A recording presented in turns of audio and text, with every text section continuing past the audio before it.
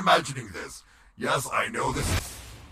If you stop squirming, I can get you here in one piece.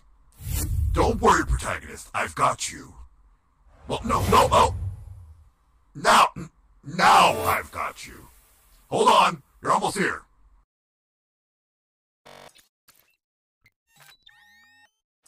Hello, my protagonists, and welcome to another Doki Doki Donut on Pride Month of all months. We are this happy Pride, everyone. My name is DB. Welcome to Famaria, and welcome to Doki Doki Donut. I, I I know you haven't seen this avatar in a while. You haven't seen me be able to move like this in a while. Oh my god! Comet! Oh, jeez! Ah! Broken avatar there for a moment. Oh my gosh. Comet! Oh my gosh, Comet! Jeez! Comet coming in with the gifted subs. Thank you so much, Comet, for those five tier one gifted subs. Ah, oh man. oh man. All right, I should turn on certain things. Hold on. Hold on. Let me see if I have them turned on. Of your rewards, channel points. We should turn those on because we're on this avatar now. Uh, let's see here. Because it's Pride, we can have Pride Parade. Uh, let's see here. We'll turn on. Well, we're not going to turn on Yoink because we haven't had that set up. But Comet, thank you so much. What's with the Angie? Comet, wow, why so angry? Comet, why? Why are you so angry?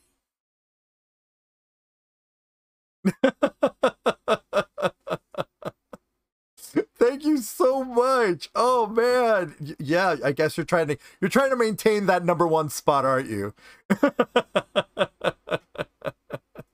Let's see here. Um Snack Speaks is on. Oh no, the sky. I think I'm gonna get rid of the. I'm, I'm definitely gonna get rid of the. uh Hold on, everyone. Give me just a moment.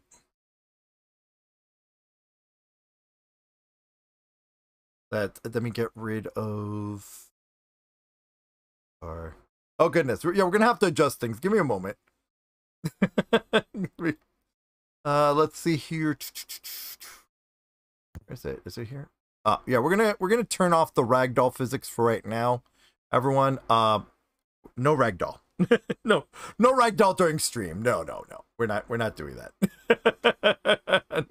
not this stream. We're we're we're just gotten we've just gotten back onto this avatar, and we're not going to be doing that. All right, let's see here. Let me put myself back in the center again. I'm gonna have to readjust this avatar too. Hold on. Is it in here? Just.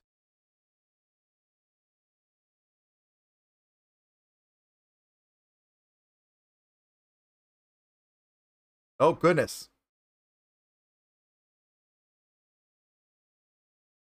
Ah. Back up, up and away. and it, I'm just trying to adjust, I'm just trying to adjust things so that my tail doesn't get cut off or anything like that. Um, let's see, let's see here. Here we go. We're making live adjustments here because you know there's some new new things about me, you know. But I'm not gonna say a word. Not a, not not a single word. No, no, no. All right. Uh, let's see here. So yeah, welcome to the tonight. We're gonna be reading Nine Lords of Night. I am so excited to be reading this book. Uh, let's see if we can get my arms working too. Hold on. Let's let's try it out. Let's try it out. We can see we can get. Um, I'm just gonna ask. Hold on. My mic has my mic been muted this whole time? No, it's not. Some okay. Something's not working.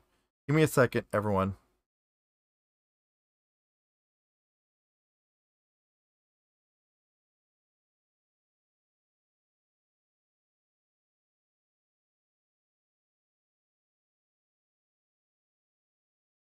All right, let's try that again.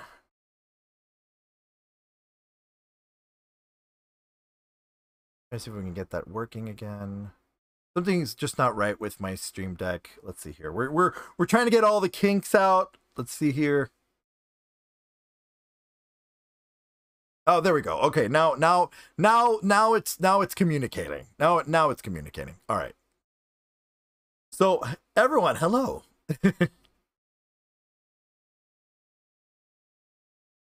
hello everyone, and again, welcome to Doki Doki Donuts. I am DB, your host. Uh, let's see if. Oh, right, we're gonna get see if we can get my hands to uh, work as well. So, ah, that, ah, ah, ah, my hands are working, everyone.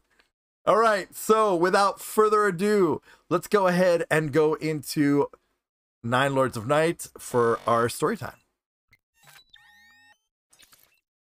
And now I've been really excited to read this book to all of you. I don't know about you, Snacks, we're gonna we're gonna be we're gonna be reading nine nine lords of night um i think i need to move snacks somewhere a little bit less obstructive. Roku! Hey roku! Welcome! Welcome to the stream. All right we're gonna move snacks buddy buddy you're gonna be you're kind of a little in the way.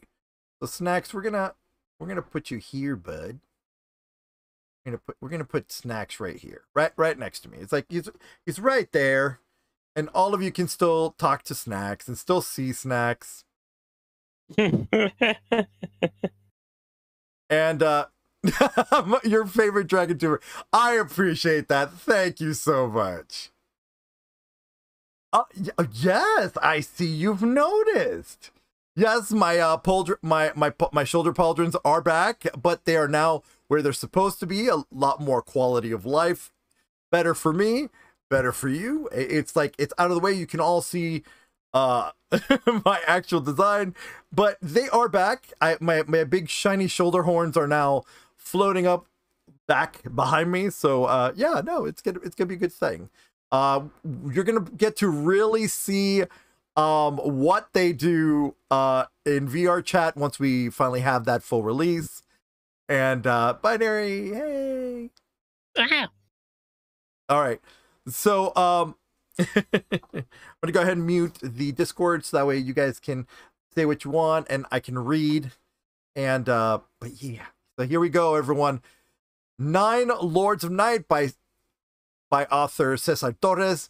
Cesar Torres was the same author that uh wrote 13 Secret Cities. So this is book two if my fingers can do it, book two, two, two. There we go. Book, book crunch fingers.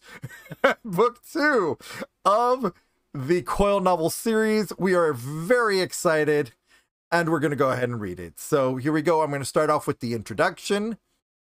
And let's go. A curious thing has happened to me in the past four years. I find uh, Oh, oh, sorry. Actually, be, oh, before I forget, if you do exclamation point H O M in the chat, you uh, if you want to get uh, go ahead and start reading book three, uh, you can sign up on the link. So yeah, there's that. And why am I frozen? I do not know why I'm frozen, and I'm not moving. There we go. I'm more I'm more centered. If I'm gonna be frozen, at least I'll be right here. So, okay, a curious thing happened to me in the past four years. I find myself being swept downward in a circular kind of motion, headed down a place that is both strange but familiar at the same time. It's a dizzying, it's a dizzying ride, thrilling and light, as if I were riding on the back of giant birds. I know the place we, were, we are headed. It's a place at the end of a deep spiral. The place is called that place is called the Coil. But the Coil has a much older name. The Aztec Empire called it Mictlan, a place the Aztecs also known a place the Aztecs, also known as Mexica or Mexica, considered just as real as you and I consider the Eiffel Tower today. To the Aztec culture and mind, this was an underworld, a place of darkness where souls traveled on their journey uh, after physical death.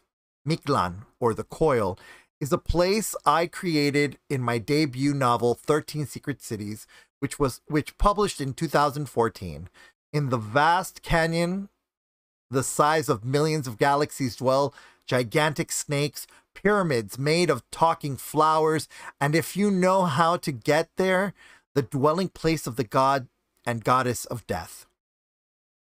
Today, you hold in your hands the sequel to 13 Secret Cities, titled Nine Lords of Night.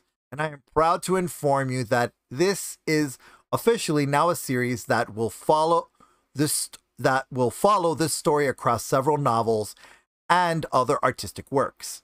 It is for this reason that I have officially named this series The Coil.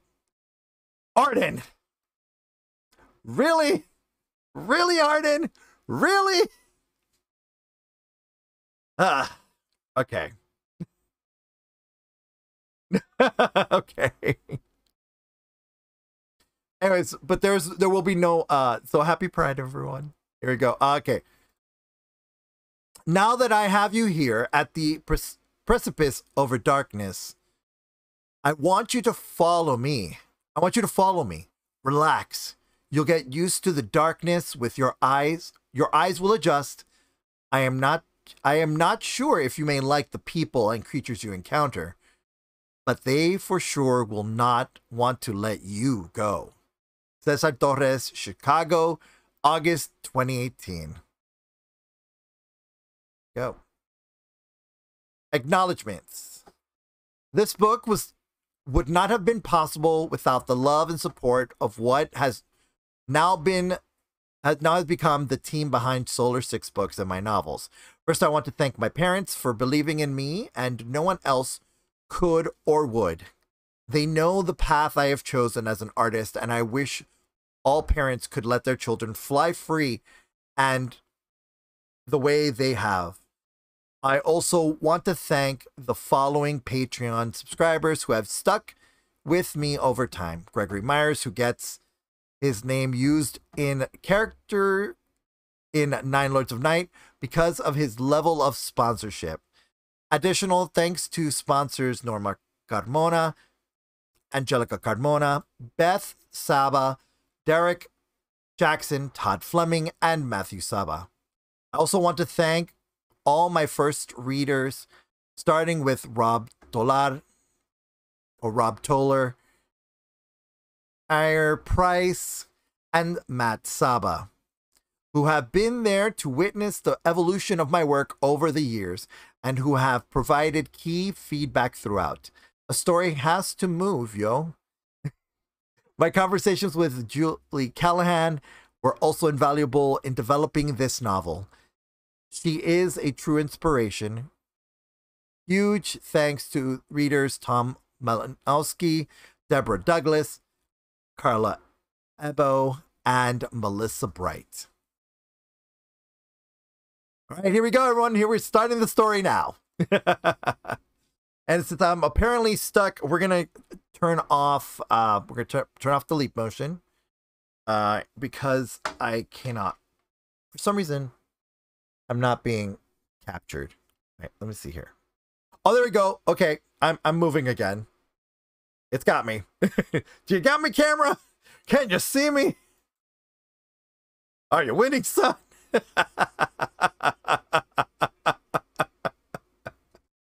All right, here we go. Hey, hey, how's it going? How's it going, two wolves and a jackal? who I accidentally called Two Wolves and a Jacket the other day. All right, so I had to drink some water. All right, here we go. We're starting off. Ch- I guess this is chapter one, day one, October 20th, 2025, Manhattan, 3.59 a.m. ET. Eastern time, I guess. All right, here we go. Marlene grew. Marlene grew drifted in a dreamless dark until a shriek woke her up. Night greeted her. The muscular body lying next to her changed shape, bulging and twisting beneath the sheets. It elongated with a violent thrust of a leg, Then it shrank, and after a moment, it stopped moving. Its breathing rumbled, then whispered. Marlene patted the head through the white sheet. And then the shriek returned, filling the high ceilings of her bedroom. Ignore it, baby. It's just my wife calling. Brian croaked from under the sheet. This bed was a sacred place for Marlene and Brian. Under these linen sheets, she was no longer his manager at the at the law firm. And he was and he was not her subordinate. Here they were equals, partners, inseparable. Marlene kicked off the sheets and stood up. The breath of the control uh, oh, no, the breath of the central air conditioning made her skin break out in goose flesh. Phone calls at this time of night could only mean one thing someone had died. She thought about her mother in Florida, old Nessa, as everyone called her, and she stashed $50 bills inside, and how she stashed $50 bills inside coffee cans in her house so she could keep her up her cigarette habit without using credit cards. Maybe tonight, that shriek was the phone ringing announcing old Nessa's second stroke. This could be the fatal one, final chapter in a long, complicated story of a woman who would, who would never be satisfied with her husband, her daughter, or life itself. Could be, or ha- or perhaps it was a call from Marlene's sister, Lilith. Maybe when Marlene picked up the line, Lilith would announce that her daughter's Paris had been in a broad road accident. Paris would have slammed shots at the bar with friends, with no des- designated driver. Dead, a twisted heap of metal at the bottom of a sharp turn in her college town. Paris would be slumped over the wheel of a Honda Civic, forever youthful. Marlene's favorite niece. Maybe. Or maybe the call was from Thaddeus's housekeeper, letting Marlene know that her ex husband was finally dead from complications from diabetes. Of course, the real cause was beneath the diabetes, Thaddeus's never ending relationship with Maker's Mark. If she picked up the line, she would learn that Thaddeus was dead, fat, and even in death, forever attached to Marlene's life like a shadow or a parasite. He felt around the top of the dresser for her smartphone. She found the flat object and clicked the non-existent button, existent button on the side. The, the device shifted and unfolded like a flower, revealing a tiny screen on its center. No messages, no calls. The ringer was turned off, and the phone was set to do not disturb mode. The shriek was not coming from the device. And next to her, Brian's iPhone, also dark. A third shriek cut through the dark, through the silence. Where in the hell is that coming from? She said to herself. Marlene stepped in front of the full length mirror in her room and she appreciated the way the night gave her black skin a bluish hue like ink. Her legs were a little thicker in the thighs, and they were 10 years than they were 10 years earlier, but they remained strong and elegant. Her flat stomach gave her a youthful veneer, but the truth was that she didn't feel as energetic as she did in her 20s. She shook her head in the black mirror and made her way back toward the bed. Another shriek cut out in the night. This time, the sharp sound seemed to be coming from outside rather than inside the bedroom. Marlene yanked the blinds, and at the center window, the cord fought her. She tugged a second time, and the blinds rose. Light flooded her bedroom. Columbus Square sparkled in the distance, and the green canopy of Central Park spread out before her. The park's orange lights washed away the shadows in the room, as she waited in the silence, peering down at the wi- winding taxicabs in the streets. The roar of the city, the car horns, the ripped of wheels on asphalt. The, those sounds m- massaged her ears. She looked down and gasped and recoiled from the windowsill. Oh, hell no, Marlene spat. A bird perched on the ledge of the building, looking right up at Marlene, staring right at her, into her. The bird was easily the size of a turkey, or maybe even a vulture, and its plumage shimmered like jewels. Its head feathers sparkled with blue and gold, and its belly and back shone in a deep metallic scarlet. Like red garland on a tree at Rockefeller Center. Even under the bluish LED lights of the city, it was clear this animal was no pigeon, sparrow, starling, or any city bird that she knew of. Its beak rounded over its face into a razor sharp point, and she was grasping for the word, for the name to describe this creature, because she had seen an animal like this before. Yes, a macaw. It was a fucking macaw. And its eyes, its curious, uncanny eyes, glittered like pools of water under the moonlight. But something was wrong with those eyes. Very wrong. It had two of them on each side of its head, and they looked wrong, corrupted, not of this world. Birds weren't supposed to have four eyes. The creature opened its beak, shrieked, emanating the infernal ringtone that had woken Marlene up. She tried batting the bird away. Thanks, Roku. I did. I did. Uh, I did. Uh, hydrate. uh, let's see here. Marlene up.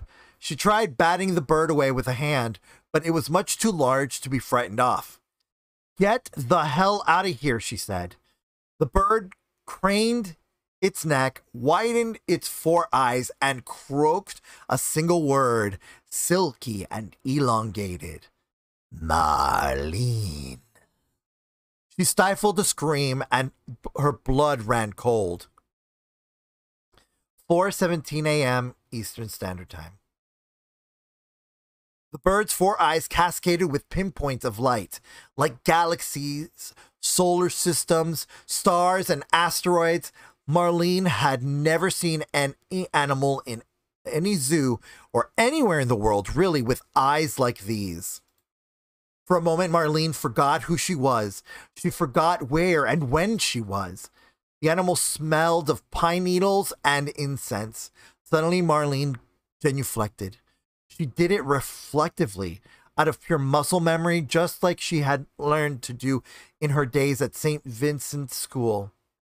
The bird cocked its head up toward Marlene and screamed its ringtone song. She could see that its mouth was not like the mouth of any macaw she had ever seen. Silvery barbs on the bird's tongue stood on end, as if it was lined with sewing needles and the shiniest metal. Of the shiniest metal. The needles bristled and squeaked like rusted wheel. Marlene. Oh no, sorry. Marlene, get your ass back to bed. Brian shouted from the inside of inside the bedroom. Something rough scraped Marlene's knee, and she lost her balance. She stared down at her hand and gasped as she saw what she had been doing. Marlene was on hands and knees on the cement lip of the building when she had crawled on her hands and knees on no when had she crawled on her hands and knees on the ledge? Sorry oh sorry. Her hair hung over the vast heights of her high-rise apartment pointing down towards the sidewalk. If she had lost her center of balance now she would topple 25 stories to her death Below her, New York City spun like a roulette wheel, and nausea strummed inside her belly. The bird took a few slow steps toward her. Now that she was closer to it, she could see deep slits in its breast, like gills of a on a shark. They opened and closed as if they were breathing through them. Marlene crawled backward toward the window into her apartment, genuflected once more, once again, dazed. What do you want? she said. It only stared at her now, silent, as if her questions had angered it. She shut the window immediately and scurried back to bed and burrowed herself beneath the covers. After a few moments in the which she tried to calm herself down, she peered out from the blankets. The animal was still there at the window, staring at her through the glass. Marlene's hands fumbled on Brian's body. They found his shoulders and then his elbows, and she slid into him to and to give to give him a bear hug. His heartbeat was strong, slow, calm. She felt a little better. Brian, you awake? Now I am, he said. He rolled his athletic body onto hers. I need I need to make sure I'm not dreaming. Ooh, you're not dreaming. Did you hear the ring phone the phone ring earlier? Yep, yep, I told you, just ignore her. No, it wasn't your wife. Your phone never rang. Brian grumbled. He kissed her once on the mouth and then slid out of the bed. He stood naked, facing the windows. His erect posture and the way in which he pointed his feet straight out reminded her of divers at the Olympics. He had snapped fully awake. He turned on the light switch on the wall and drew back the curtains to let more city lights into the room. I do see something out there. Want me to take a look? Told you. Should we call the super? Honey, it's the middle of the night, and besides, look. The bird had wandered into the center of the windows, as if it if it needed the people inside the apartment to view it. It turned around and looked out into Central Park. It spread its wings, and they unfurled to an impossible length, more than six feet from end to end. For a moment, Brian and Marlene drank in the colors of ruby, jade, obsidian, sapphire, and other precious stones with no name. The wings shook, and the bird flew off into the sky. As it tore into the air, it left behind a streak of red and orange sparkles like fireworks. Gorgeous, Brian said. Marlene was shaking. Did you see that crazy shit? She said. The sparks? I just saw a tropical bird, probably just an escaped parrot from Central Park Zoo. What did you see? He stroked her hair, eh, but she pushed his hand away. That was not normal, Brian.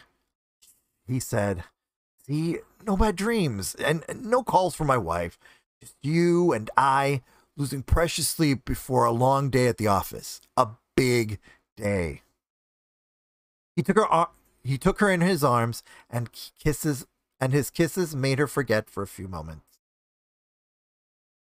Still have time to undo this mess.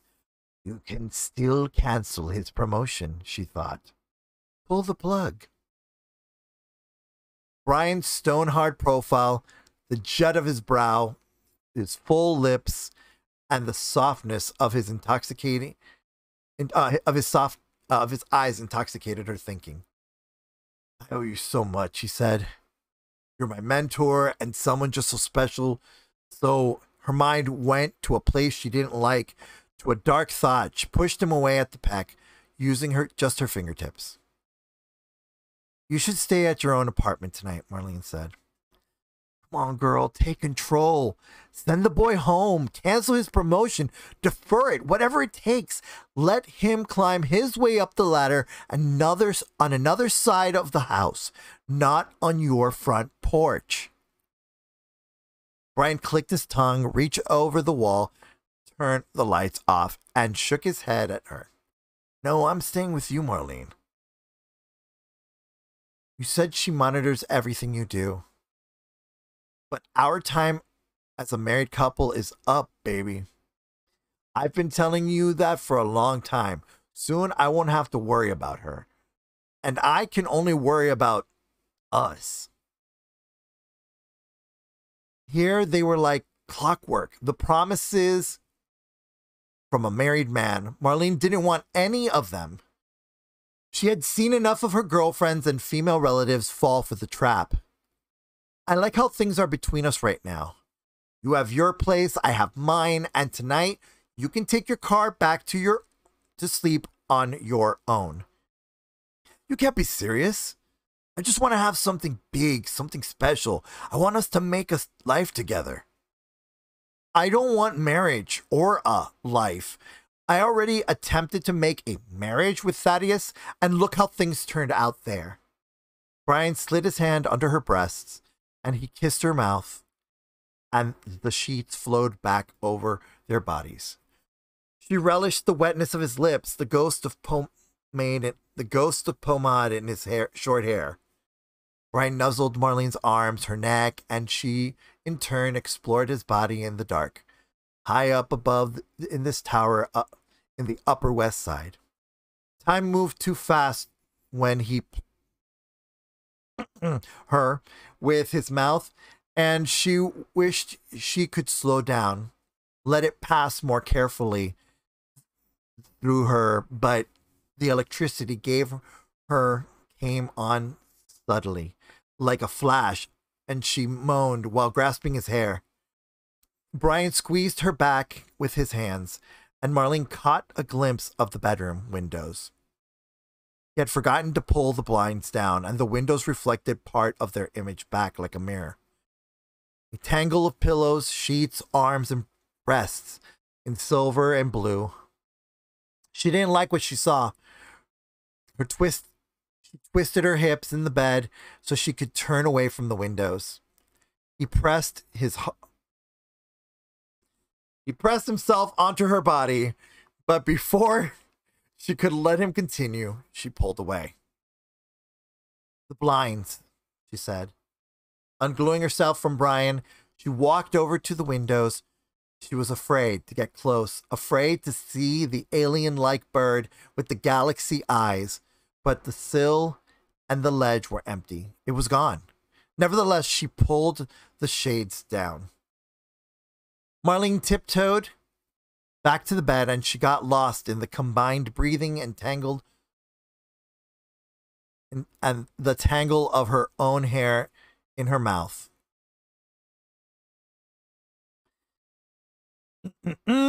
things happened, yada yada. Let me like fast forward because there are some adult things that I can't read. Um, let's see here. And his hands that never stop exploring her curves. Uh, he switched roles and then exploring every portion of her skin, pressing his her face, uh, and, and, they had sex. All right, her breathing, yeah, it's very spicy. A little, this part was just a little too spicy for Twitch. Sorry, sorry, can't read it. Uh, let's see here. We're moving on. Her breathing sped up and the heat rose to the top of her head. As time raced, she approached. Uh-huh. She felt the touch of regret at the same regret she had about promoting the man she was sleeping with and regret about the chain of decisions. She made a lot. she made life. She had made in life that had left her successful, wealthy, and utterly lonely.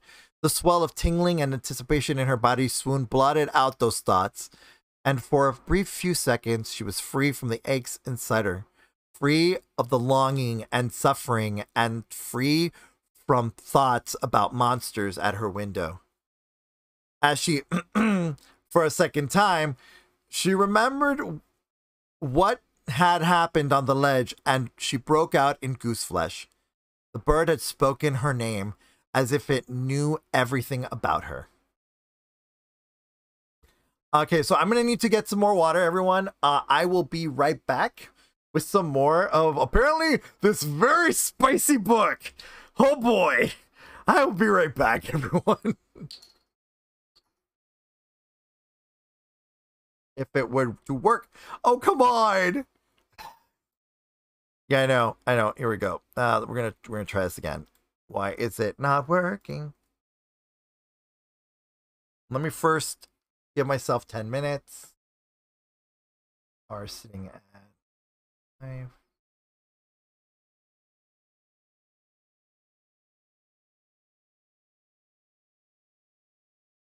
Here.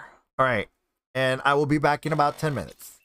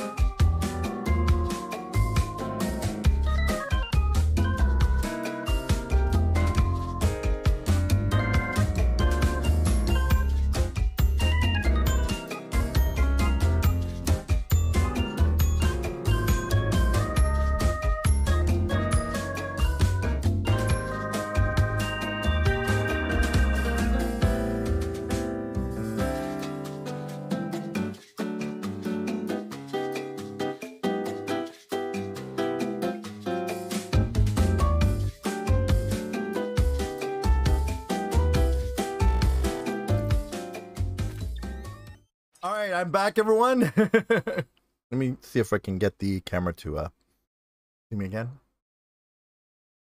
Okay. No, are you gonna see me? I'm ta- well, no, no, I'm talking to my camera. I'm just trying to see if it'll recognize that I'm here. Ah, hello, camera. I guess it's not. I, I'm I'm wondering why what it why it's not recognizing me. Um, oh well. okay. Uh, so what we're gonna do? Uh, oh, excuse me, that burp. So what we're gonna do is uh, I'm gonna go really quick, and uh, go into our little oopsie. I will fix this and be. I mean, I'm gonna unfortunately have to turn off the uh, the avatar for now until we can figure out what's going on with the camera now, why it's not seeing me. But uh, yeah, I will be right back so that way we can uh, continue with some more spicy uh, Nine Lords of Night. You know what? Let's just go to the Uwu door. I mean, cause yeah.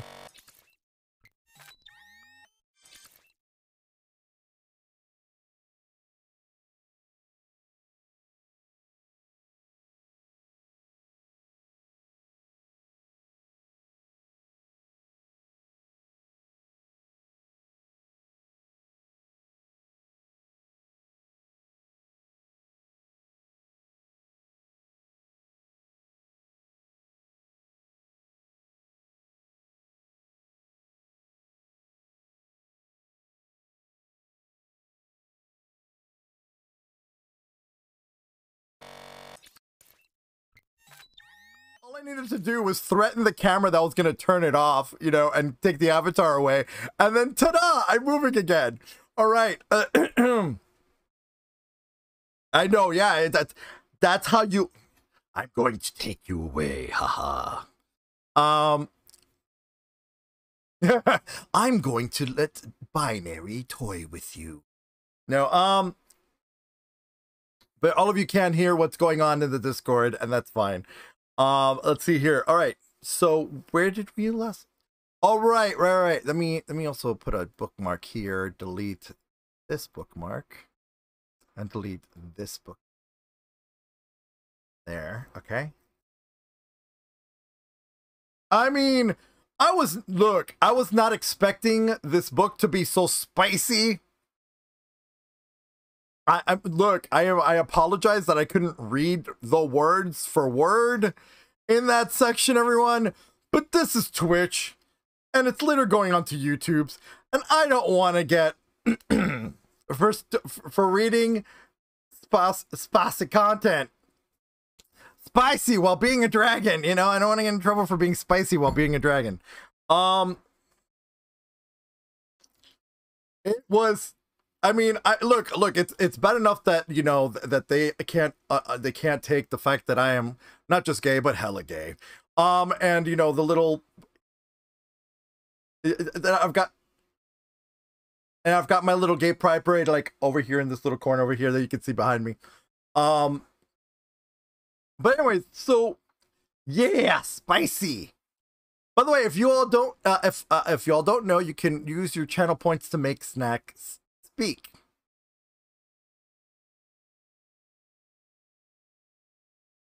Yeah, my snacks is that's my that's my ghost.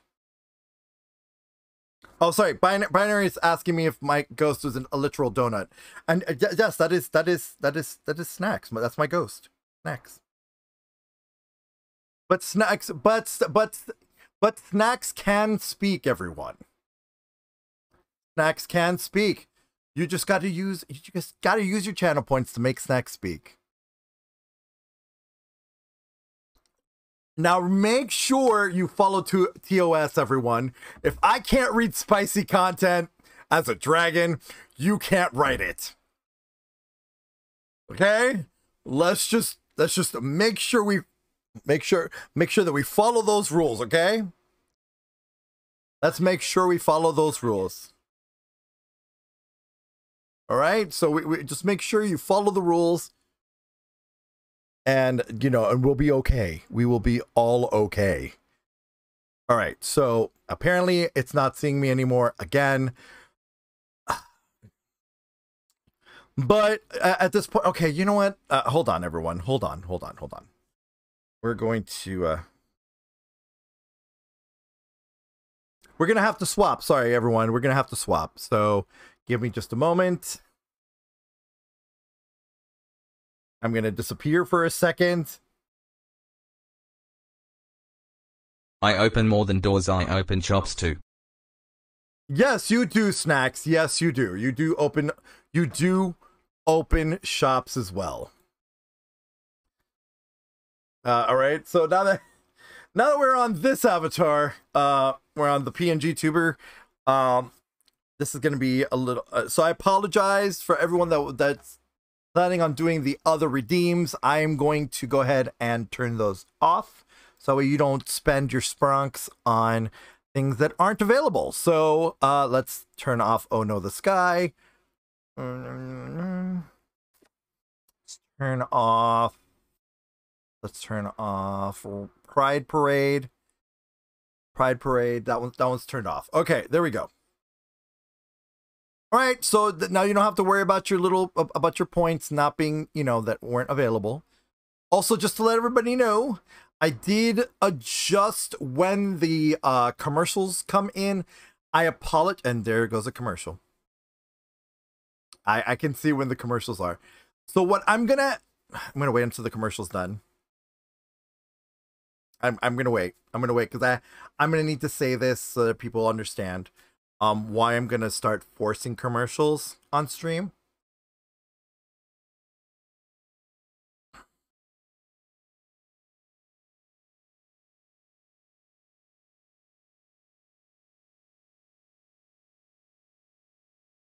I should have done it when I was on break, though. I should have done. It's on break. I'm I'm waiting for the commercial to be at to end. Everyone, if you got a subscription, that's great, and you can and you can hear me.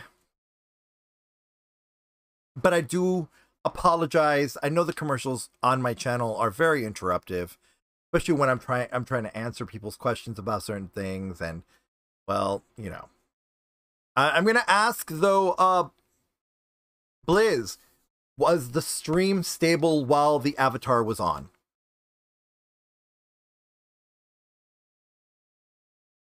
Okay, I just heard from Blizz that that was a yes, that the stream was perfectly stable. So what that means is that my dumbass had my my VTuber Plus on way too high of a resolution.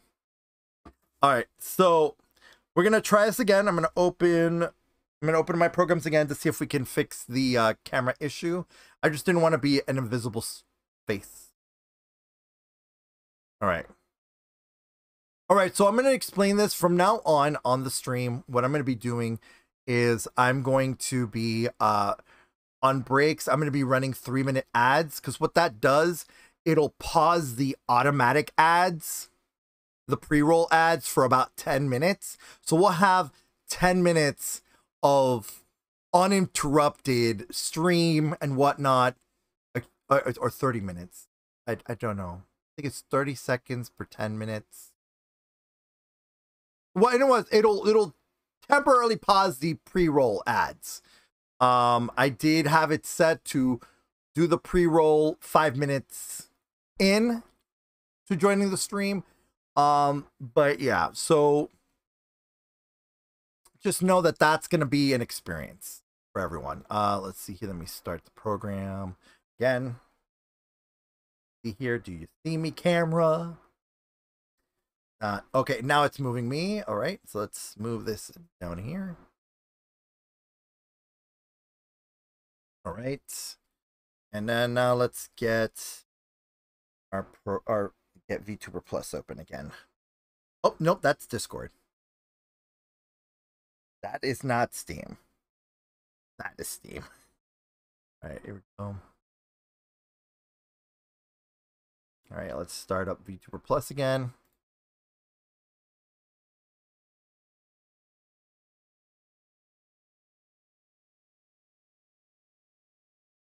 Right? Oh, jeez. well, I'm logging in to myself, everyone. All right, let me hide myself again. There we go. There we go. There we go. And the center me again. All right. There we go. I'm I'm back. Oh wow. Okay, I'm back. All right, there we go. I'm moving again. All right. So now we're gonna go back to reading Nine Lords of Night, everyone. Um, it's now 7:31 a.m. ET. I have to Facebook my old Morehouse crew. No, I have to I have to Facebook my old Morehouse crew, Brian said. To let them know what a big day this is. He was feigning surprise in front of all his peers at the firm, but genuinely happy, thrilled. Marlene understood that Brian had to go through these motions. A long time before, she had done this too, citing New NYU's Black Alumni Network at her alma mater to prove a point, to assert herself, to make herself be seen. Brian's Morehouse statement was mostly directed just at Marlene, the other only black person in the room. She could not imagine what Morehouse College meant to the rest of the partners at Morton and Morton, nor did she care. Let's see here. Another coup for your alumni, Marlene said. She did her best to fill her words with a congratulatory tone, but this morning there was a flatness in her voice she could not suppress. Marlene sat on at the farthest end of the boardroom, strategically as far away from her lover as she could, in order to not draw any attention to them as a pair. Between her and Brian sat three more partners Albert Morton, Quentin Morton, his father, and Scott White, who had become partner just a year ago. Marlene had worked as an associate 20 years before making partner in 2010. Today, Brian Berger joins our ranks, Quentin said. His promotion to partner arrives early in his career, just barely three years after his arrival here in our Midtown office.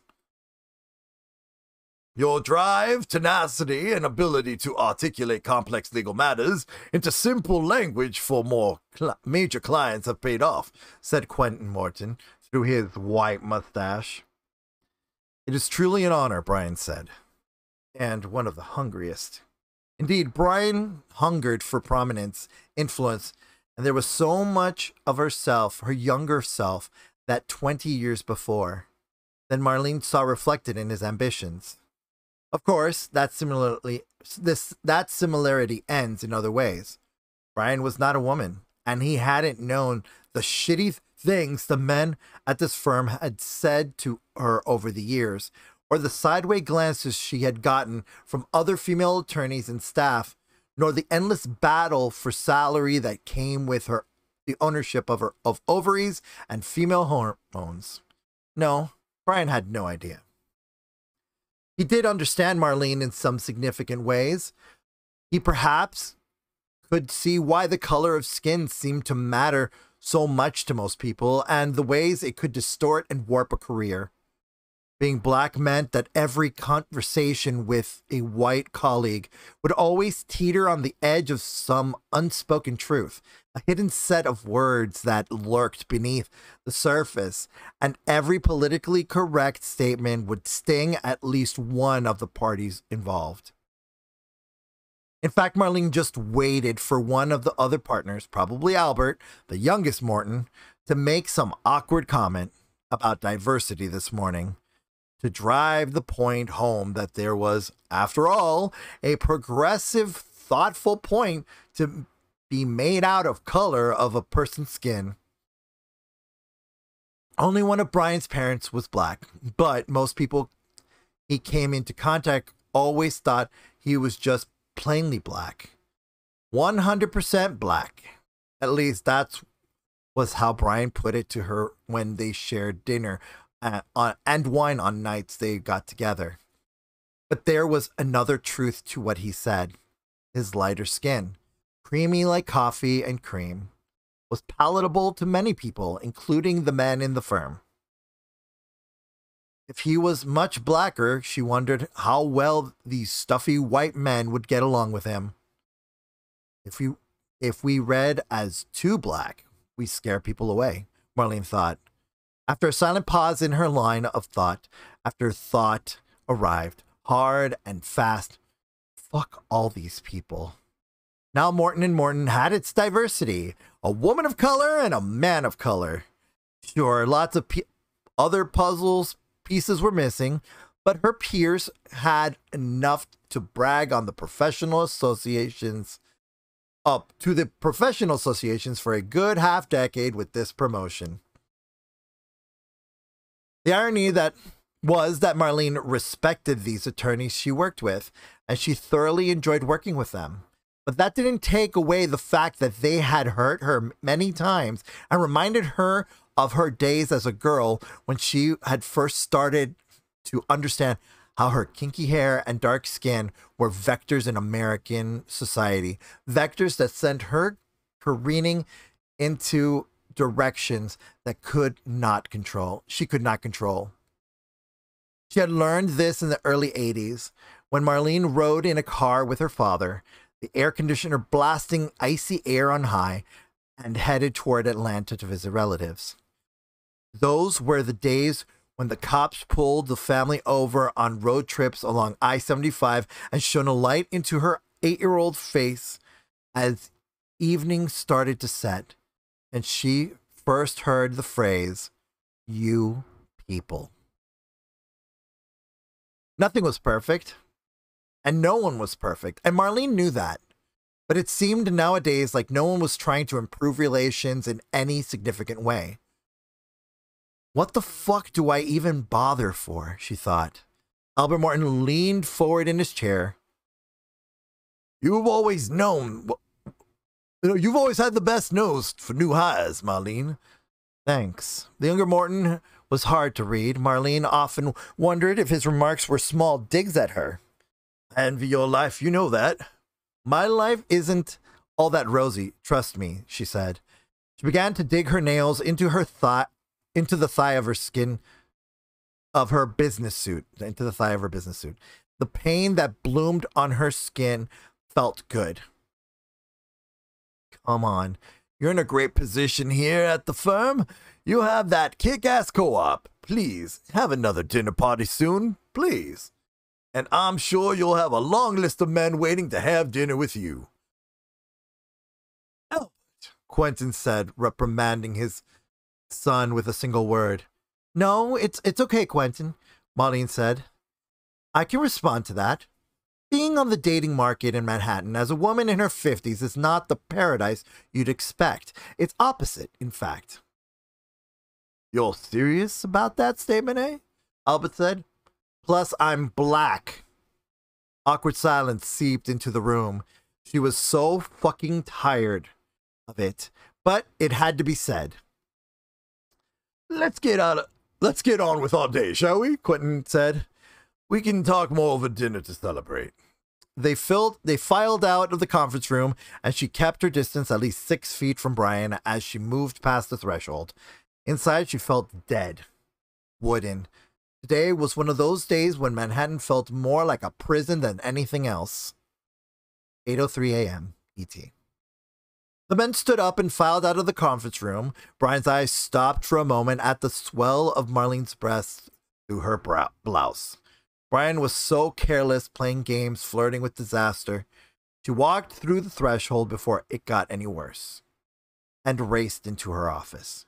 She skimmed the subject lines in her email and she felt her body grow thin and tiny. A black Alice in Wonderland inside a 40 story building that housed Morton and Morton. She couldn't answer a single email without feeling a knot in her gut.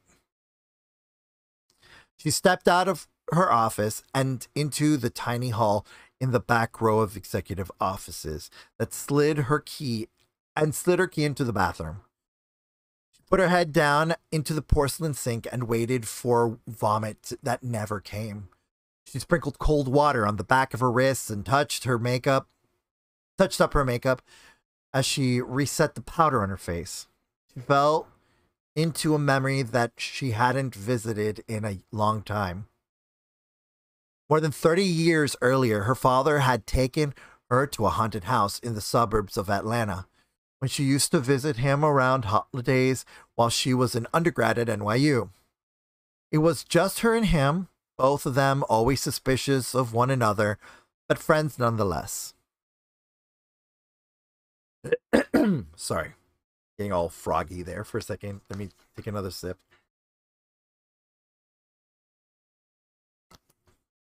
She had turned 19 the week before and then drove to Sandy Grove, an abandoned campground that featured a haunted house for the month of October. Marlene didn't like haunted houses, but he had insisted. At the attraction, the attraction was run by a black family, and this was a good thing, she, he said to her. We need more businesses like this, he said. He had said, snorting quick bursts of laughter as he drove off the highway and onto the side roads. Think of what this could mean for the unsuspecting white folk who come through here. They'll get the scare of their lives from black folks, and this time they'll pay them cash to top it all off. As they drove through the gates of the old estate and parked their car a few a hundred feet away from the campground, Marlene could smell the liquor on her brother on her father's breath. He always drove drunk. About half of the teens and families that parked in the lot had been white, and the other half black. They waited they waited in line to pay the $20 fee to enter. A father squeezed her hand as they climbed rickety stairs that still smelled of sawdust and wood glue. As they rose, they visited rooms where the undead rose from the morgue, a church where a demon slithered from from around the altar to swipe at their ankles, and a mock motel room that led into a, a white bathroom where a shower ran with real running water and a figure waited around the corner to yank the curtain and stab them. Marlene clawed at her father's forearms with her nails, and she screamed each time the demon scarecrows and zombies lunged at them. Halfway through the haunted house, they had to walk across a field from the farmhouse to the grain mill. And the flat piece of land had been decorated like a graveyard. As Marlene's sneakers stepped into the muddy ground, she realized that she was having a lot of fun. And her father's problems with gambling debts and his unwillingness to back off from alcohol didn't seem much to matter much didn't seem to matter much, at least for a few moments. They walked through the doors of the grain silo, and her father led the way with confidence. And no matter how suddenly a specter or a masked killer jumped out at them, he never screamed or flinched. In fact, he hummed along as they traveled through the silo, delighted by Marlene's screams. They walked through a dark room in which they could hear a snake hiss. From above, the creature's eyes lit up in bright blue light and spit from the flickering and spit from the flickering tongue showered them as she screamed. In the upper flo- floors, a skinny werewolf, bare except for a loincloth, but wearing a giant dog's head, lunged at them so he could snatch them into the world of the dead. And y'all give me a moment, please.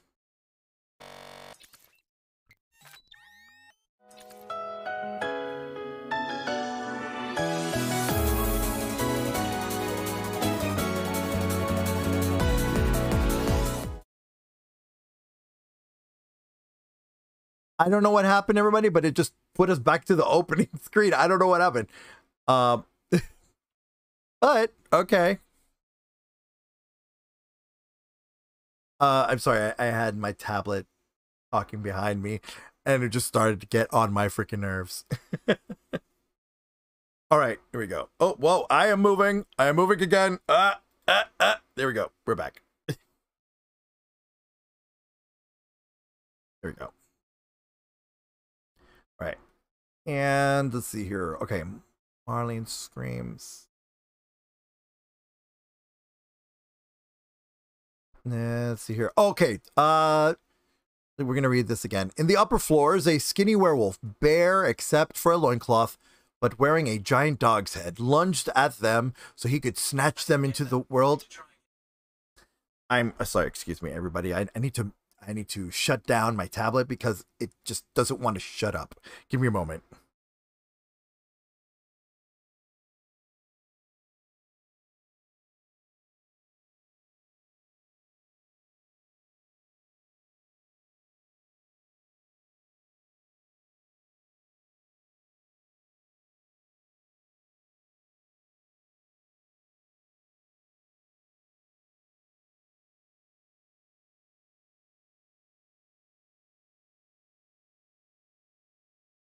There we go. Okay, I'm back, and the camera will see me in just a moment, hopefully.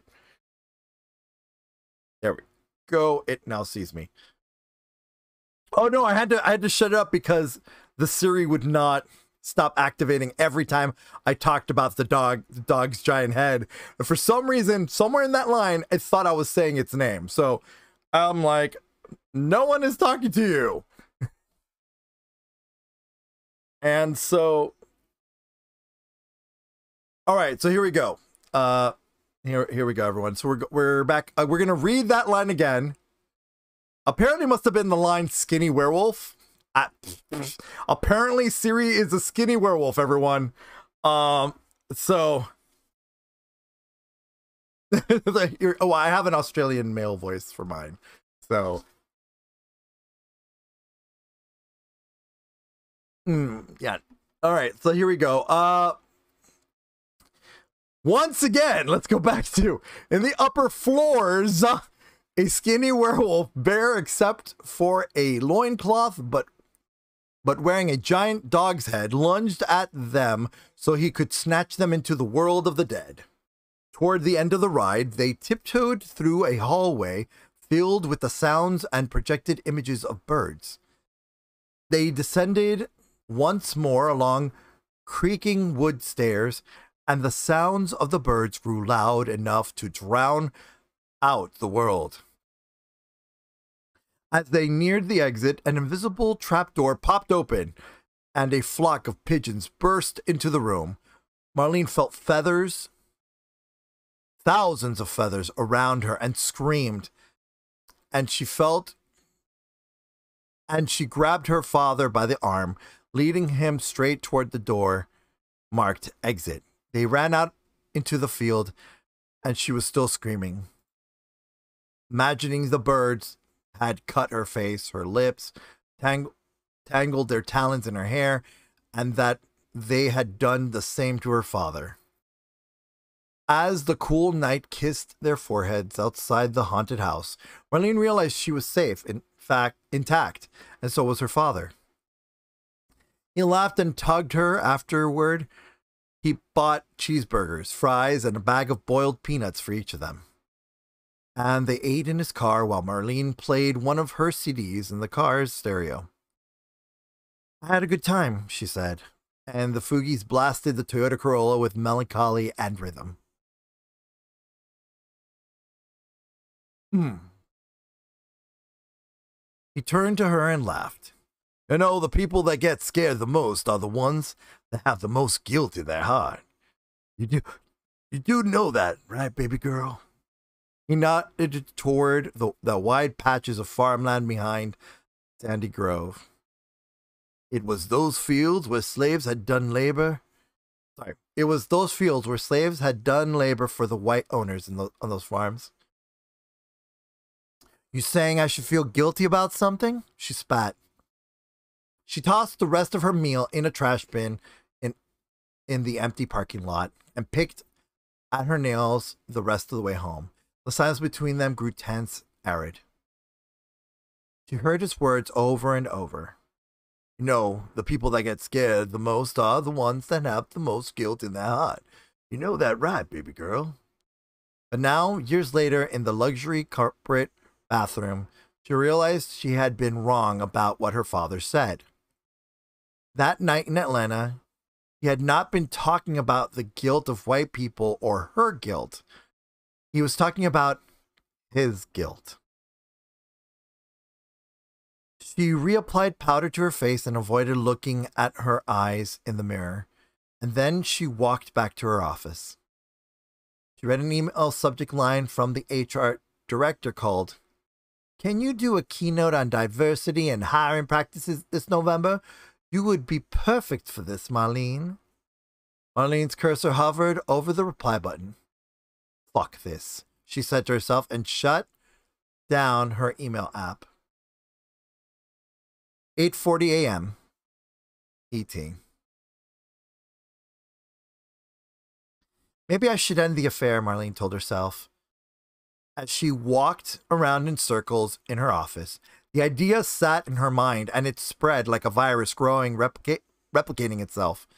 She and Brian had been sleeping together on and off for a full year now, and they had always been more than careful. If anyone ever found out, Marlene would lose her job. She was a senior partner, true, and she knew that the Morton family would provide her a solid level of protection from a scandal, but they would not perform miracles of God either. Marlene had been the person to lobby for pro- Brian's promotions, his best spokesperson, his advocate. She knew better than anyone that else that allegations of sexual harassment against her would grind her career to a halt. And she would know better than anyone else it was her own fucking specialty. In the past decade, she had handled sexual harassment suits against Airbnb, Uber, Microsoft, and executives at Monsanto. Hell, she had worked on the Harold Weinberg case, leveled against one of the best known Hollywood producers of the 21st century, and won. She didn't think Brian would ever betray her, but if there was anything she had learned in her 25 years of experience, is that when it came to sex and adultery, betrayal is always possible. And more than likely, most people had a burning need to confess, to have a release valve for their secret transgressions. And if Brian opened his mouth about the clandestine game after hours, it would be all over for her.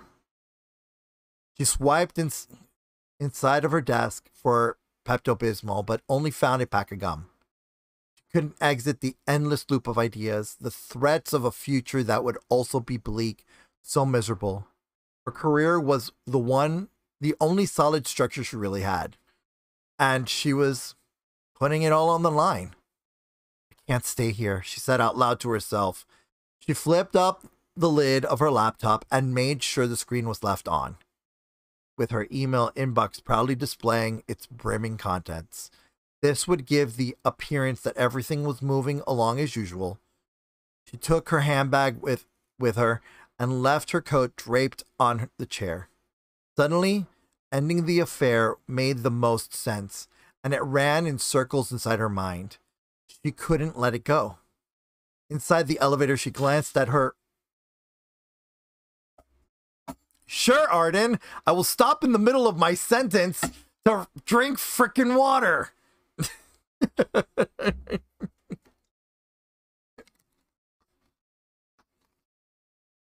Thanks for the redeem, Arden. Give a moment. God damn it, cut the mood like a knife, really.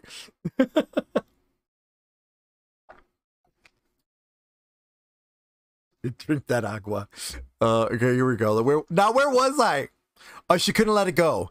Inside the elevator, she glanced at her reflection in the chrome.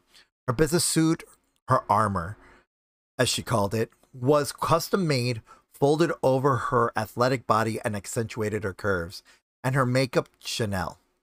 But her eyes looked hollow, sullen, flat. You look like corruption, darling. No, sorry. You look like cor- corruption, darling, she said. She glanced at her watch, only 8:45 a.m. She stepped onto 42nd Street and its cacophony. She had no idea where she was going to go, but her feet never stopped moving. Growing up, her father had told her there's only one direction to go forward. The vulgar consumerism of the LED walls of advertisements and the chain stores bombarded Marlene's eyes. Ads the size of buildings flashed before her. She took in the preview of The Gold Apocalypse, a new TV series on HBO dripping with the sexuality of men's semi naked bodies and in superhero costumes. Beneath that screen, women in submissive poses got fondled by a horde of men in Abercrombie jeans. On the next block, an expensive AI coffee maker provided a man and woman the most orgasmic cup of coffee ever, defining and validating their lives in one sip. All the Gulliverian ads centered on the scale of youthful, attainable youth to sell cosmetics, cars, and perfume, the seduction of children's souls with ads for movies and fast food. And this blanket of products and illusions became her perfect cover. She ducked into CVS and purchased six half bottles of Chardonnay. She opened one right in the store, not giving a shit, and slammed its contents in just a few swigs. The rest she jammed into her bottom, into the bottom of her shoulder bag. She exited the pharmacy and continued to walk west on 42nd Street. She let the wine guide her. 8:44 a.m. At the intersection of 7th Avenue and 42nd Street, military police performed routine bag checks. Men and women formed two neat but separate lines and opened their purses, backpacks, and shopping bags for the uniformed police. Marlene no longer thought that these security checks were a big deal now that the drones floated above every single intersection scanning biometric IDs. Had she given up? Uh, oh, she, had she given up on some ideal by accepting these checkpoints by allowing her pockets and purse to be fair game for any officer of the law?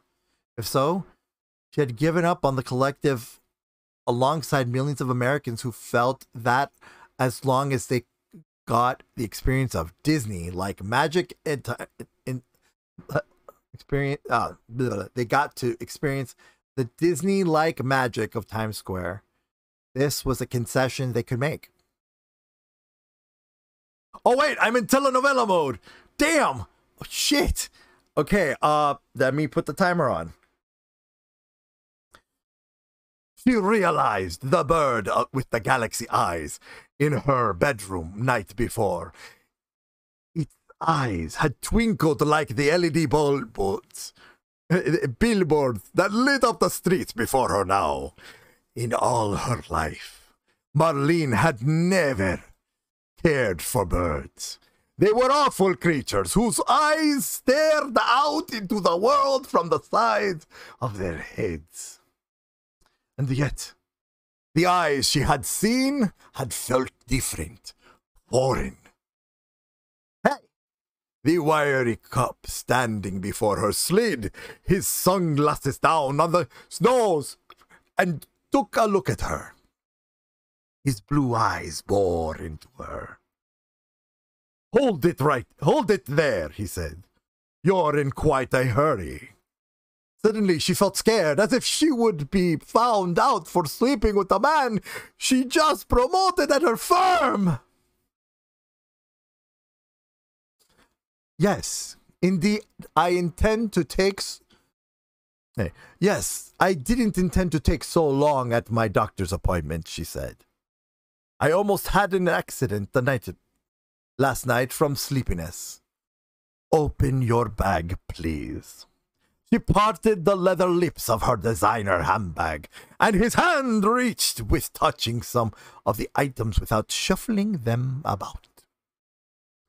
He glanced at the wine bottles just as she was trying to close the designer bag. You dash through Times Square like this often, miss? If you know you can't skip the line for bag checks, Everyone has to comply. I didn't break any laws, she said, her eyes firm and defiant like her mother's. No, you, no, can't you say you have? Then am I free to go? And nothing is wrong then. Of course not. I'm acting like I. Am I acting like I broke the law? Of. May I see your ID? He waved to two other police and asked them to take the overflow of people waiting to go through the checkpoint. Excuse me, I don't see you asking for white people's IDs before they line up for security checks. She handed over her New York State driver's license. She knew she couldn't win in a situation like this. He flipped his sunglasses back on his face and inspected the card. She kept her lip pressed tight and her face stern, unmoving, yet her heart was racing. He handed the ID back without, to her without saying a word. After she tucked it back into her wallet, she didn't walk. She ran away from the checkpoint. 8.46 a.m. ET. Sorry, I have to be dramatic for another seven minutes. I'm sorry.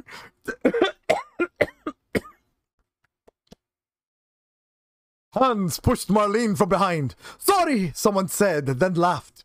A second shove, and a pack of teens marched on, pushing her aside, and she lost her balance for a moment. Her ankle folded, and she stumbled toward the building on her left. They walked in a trio wearing chunky heels and flipping their long hair in waves of teal, gold, and purple. They laughed seemingly at nothing, their hands glued to their phones and their teeth white as snow. Who the hell were these little bitches? These girls pushed forward, snapping phone photos on their phones and oblivious to the middle aged woman in the power suit they had almost knocked over. Marlene reached out toward the wall of su- for support, and she stumbled onto the wall of LEDs.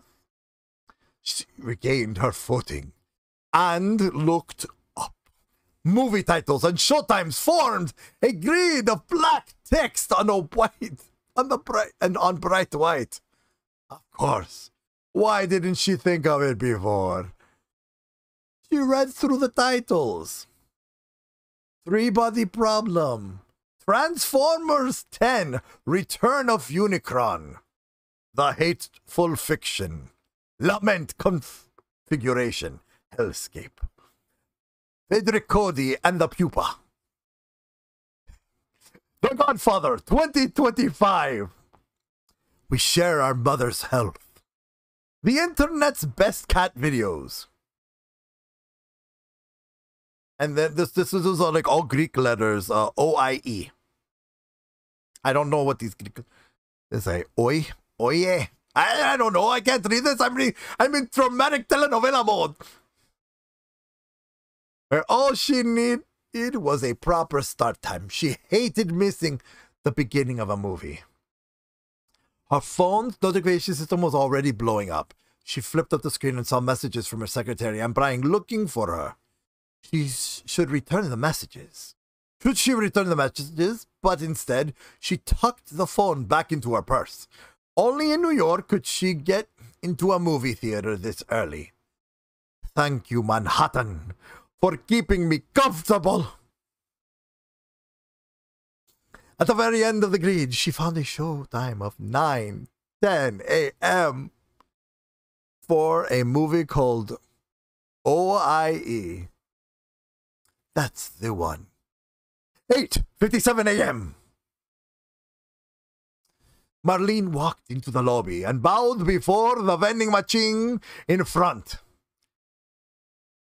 One for OIE, she said. She said, "One for OIE," she said out loud, and slid twenty-five dollars through the glass slot. The printed ticket slid toward her through the slot, and a pre-recorded female's voice thanked her for her purchase, and a faint smile projected itself onto the glass like a Cheshire cat. The theater, like most theaters in America, no longer employed ticket staff. The theater's vast lobby displayed nothing more than movie posters, and two escalators led up into the heavens, promising popcorn, soda, hot dogs, and some of the best projection screens the city could offer.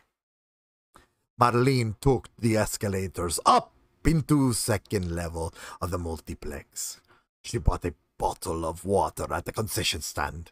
She was which was staffed by a human, this time a young black woman, no older than 20.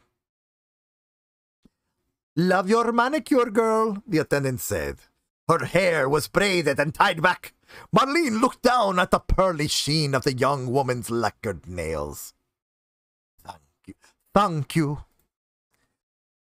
Keep my claws pretty and as blue hummingbirds. Huh? Marlene said. What a strange thing to say. Keep my claws pretty as hummingbirds? It's a line from an old Beyonce song. Strange, I never heard of it, Marlene had heard the young man say blue hummingbirds the first time. She had omitted it the second time.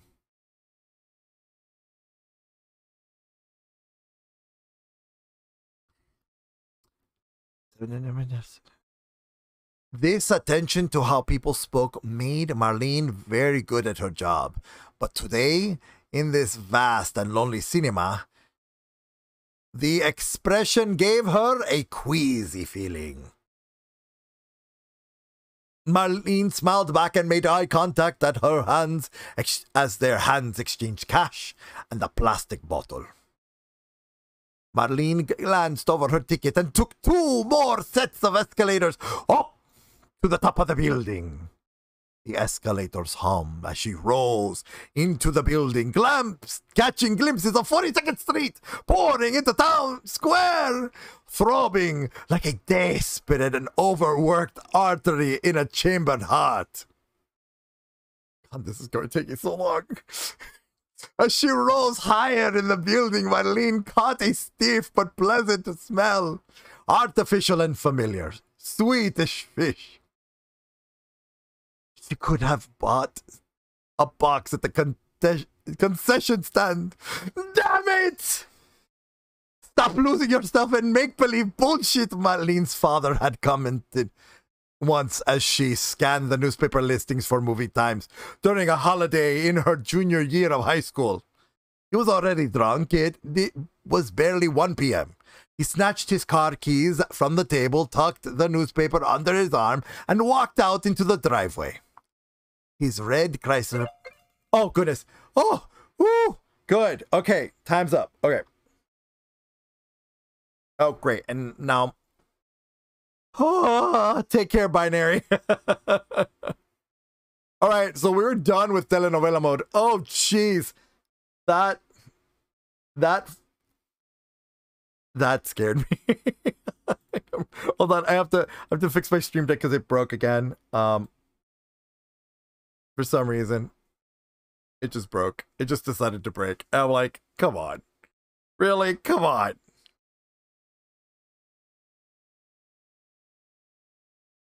Yeah. All right. There we go. We're back. We're back to normal reading, everyone. We're back to normal reading. Hold on.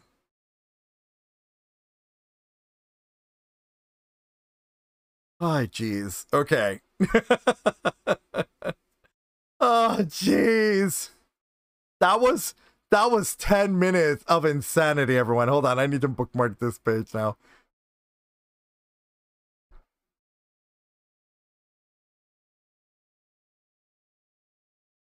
delete the other bookmarks. Yeah, here we go. His red Chrysler peeled off down the street. The, com- the comment had stung, but her mother had handed Marlene her jean jacket, and they drove. I yeah, well, yeah, it broke, but luckily the timer still kept going. So, thanks for that. Because as soon as what's funny is that um that was just it was just great.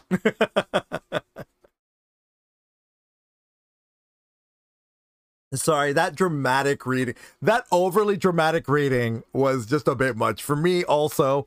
Um Oh man. Okay. All right. All right. Uh I don't know why it's not capturing me now. Well, I mean, you paid for telenovela mode. You're going to get telenovela mode. So, as overly dramatic as possible. So, yeah. All right, so let's get back to what we were. Uh, let's see. Do, do, do, Where were we? The comment had stung, but her mother had handed Marlene her jean jacket, and they drove down to the Plaza Theater. That day, she had taken Marlene to see Field of Dreams. During those high school years, they watched anything they both wanted at the Plaza Theater in Atlanta. She and old Nessa favored movies like You've Got Mail and Pretty Woman, as well as the yearly showing of religious epics like Ben Hur. It was inside the walls of the mo- of the movie theater with its smell of the stale grease and Swedish fish that Marlene found the only neutral ground with her mother. No, go ahead. No, if you've got it, look, you spend the points, it's gonna happen. I'm just saying, you spend the points, it gonna happen. So, if at any point you decide for another telenovela mode, it'll be telenovela mode again. Trust me, it's not texting my voice. It's just mentally a little exhausting because I have to like switch to that mindset. Um, but hey. Hey, Cesar. Um, so hey everybody. Uh, LED, just if you didn't know, LED Queens is Cesar Torres, the author of the Coil novel series. Uh, the not just not just um 13 Secret Cities, but also Nine Lords of Night. Um, we just we were not expecting Cesar, we were not expecting how spicy this book was at the very top. Um, I had to not read. I had to not read a good. Yeah, I had to not read a certain part. I had to like, oh yeah, they were doing stuff, and oh boy. As in like, it's like okay, and I like keep skipping through it. You're like, okay, are they done? Uh, we're gonna read a little bit of this. Uh, okay, okay. Uh, they did the thing, and uh,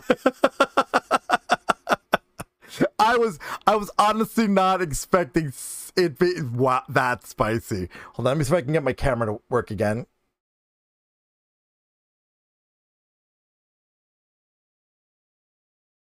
No, it's not your fault at all. It is not your fault at all. Not at all. I don't blame you.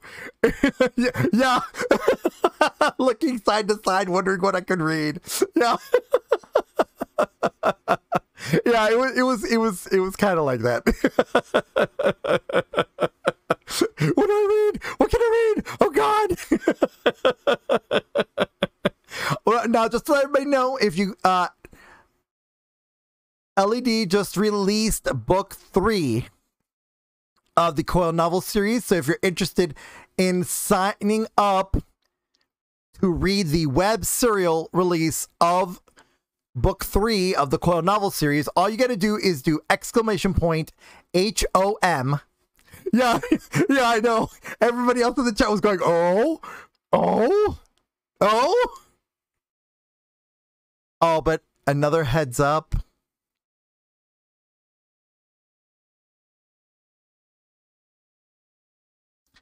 It's a crime book, so some scenes get quite violent. Oh, this one's a crime book. Okay, so this is a true crime book, sort of. Okay. All right, so there, there you go, everybody. That now you know. So I'm gonna make sure that before every stream to just give everybody a fair warning that that there is violence in in this reading. Um, I might change some words to the more stream friendly versions of words. So just yeah. By the way, you just missed um a telenovela mode reading of this book. So I don't know how you feel about that, but yeah. But again, if you all want to sign up for book 3, which is a free web serial novel, and um just do exclamation point H O M in the chat and you will get a link to be able to sign up to be part of the um, serial release of Hall of Mirrors. So just do. Uh, if you could once again Uh, uh, uh. Blizz, would you mind please doing the doing the chat commands so everybody can see what it's like?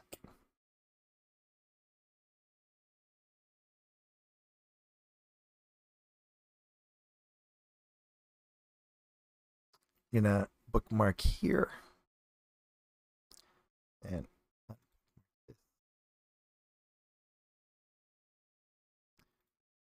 bookmark. Let's go here. All right. No, not social. H O M. Exclamation point H O M.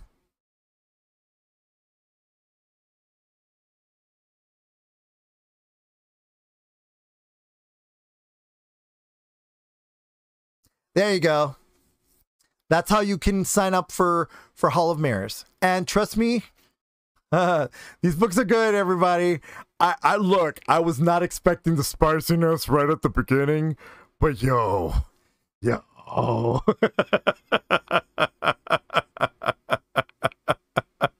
oh boy, I was not expecting it to get that spicy.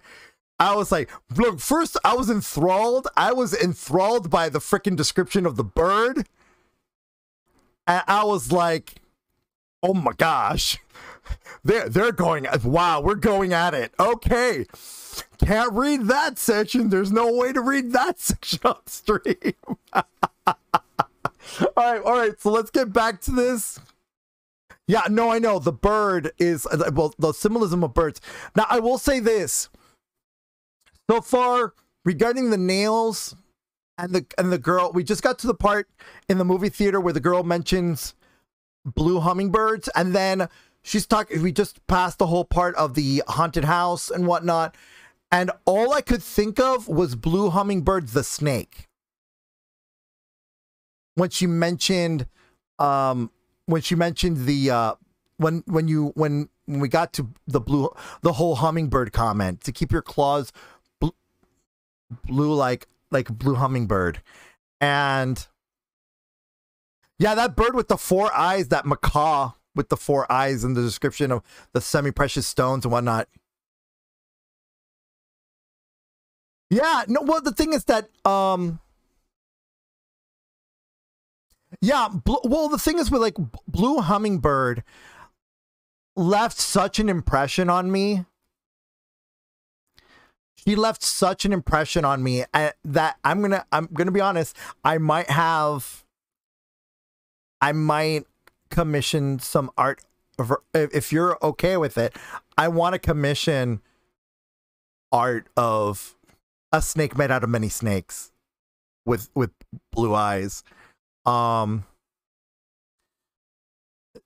it, but we can talk about that later. Um because that I, I think blue hummingbird would make an amazing tattoo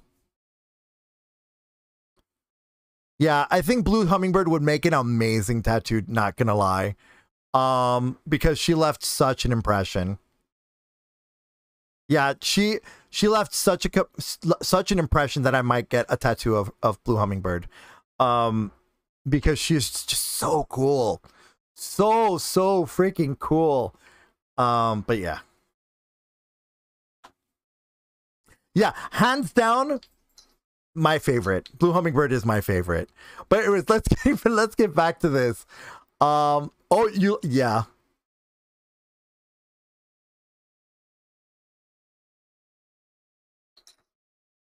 All right so here we go. Um here. Uh, it was inside the walls of the movie theater with with its smell of stale grease and Swedish Swedish fish that Marlene found the only neutral ground with her mother. She reached the fourth floor and walked toward theater number 13. A man in a hoodie crossed in front of her, headed from the bathroom into one of the screening rooms. Marlene traced her hand along the wide windows and took and looked out onto the city. Gray, time-worn midtown with its veneer of newsness, courtesy of Starbucks and H&M. Oh, wait. Oh, oh, by the way, by the way, are these drones the by the way, the drones and the security checkpoints in New York, are they from that drone security thing that they did in 13 Secret Cities just years later and spread across the country? Are those the same drones? Or the same drone program?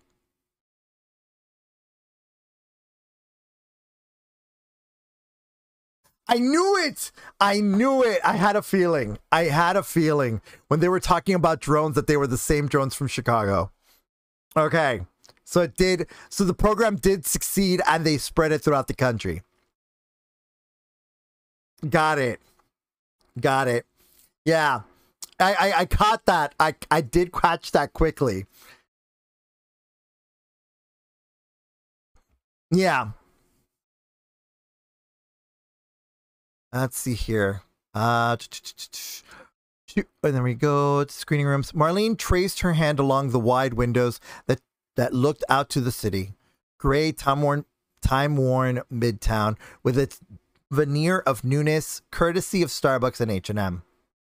Fake boobs, flawless clothes, and endless youth. What was her life going to be like in 10 years when she was 62? Why had she pushed herself so hard to become Marlene Grew, attorney for Morton and Morton? leader of multiple teams, winner of litigations, champion of severance packages, mother of none, she sighed. Marlene paused in front of the framed poster for the film.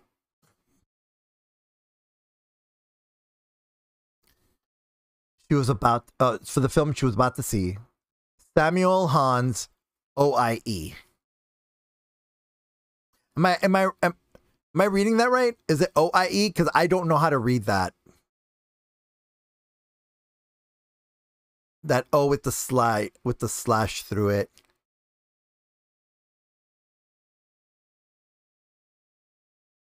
Reading the lettering, a man's silhouette raced through along the uh, through a long hallway. He was framed in shadow, but nothing nothing but a cutout. Above him, mosaic tiles created a vast archway bathed in gold and royal blue. Oh, oi a. Okay. Oi a. Uh, let's see here. Hand drawn was nothing but a science but, but science fiction. The mosaic tiles doubled as lights on the control board or pixels on a computer screen. I have to get out too, brother, Marlene said, and tapped the glass on the poster frame with a manicured nail. She pushed through the doors, and the darkness of the cinema embraced her, swaddled her, took her in without judgment. It welcomed her back. Oh, it's word for I. Oh, gotcha. Okay. Oh, it's not Scandinavian. Okay. It's the word for I. Okay. Let's see here. Oh wow, I shifted again. But but I I hope you all can see the little pride parade going down the bottom of my screen. Here we go. Uh just shift it again. Da da da. All right, here we go. See here. I have to get out of here too, brother, Marlene said, and tapped the glass on the poster with a manicured nail. She pushed through the doors, and the darkness of the cinema embraced her, swaddled her, took her in without judgment. It welcomed her back. She took to a, she took a seat in the middle of the theater. The preview started. While the fiercest American brands showered her with their advertisements, she took a sip of her water and unscrewed a second bottle of Chardonnay. She welcomed the swoon with swoon she was already feeling from the first bottle she had drunk at CVS. She smacked her lips.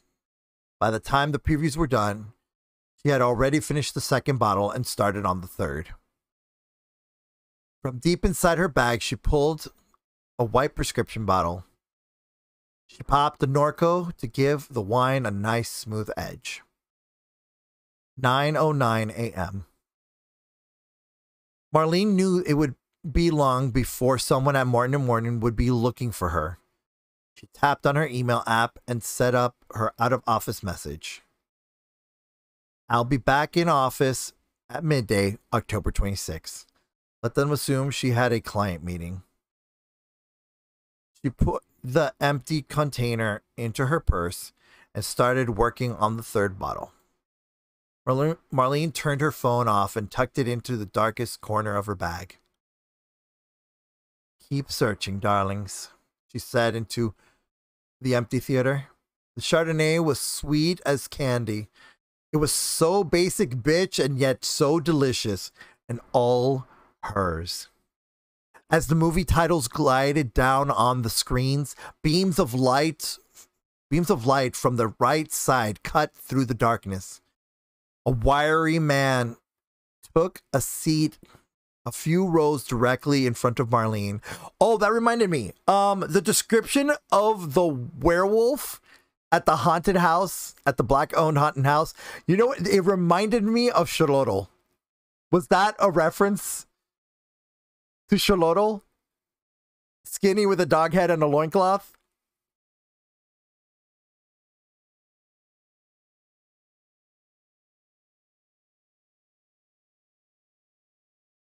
Because that would have reminded me of every time when I read that.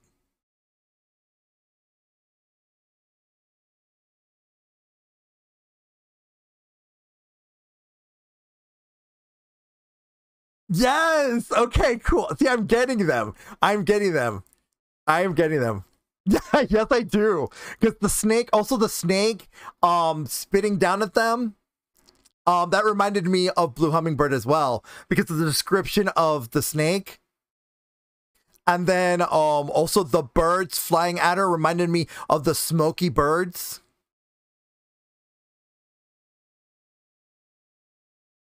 Yeah, no, it, it was like, oh my gosh, these are like little little nods to the previous book. But anyways, all right, here you go.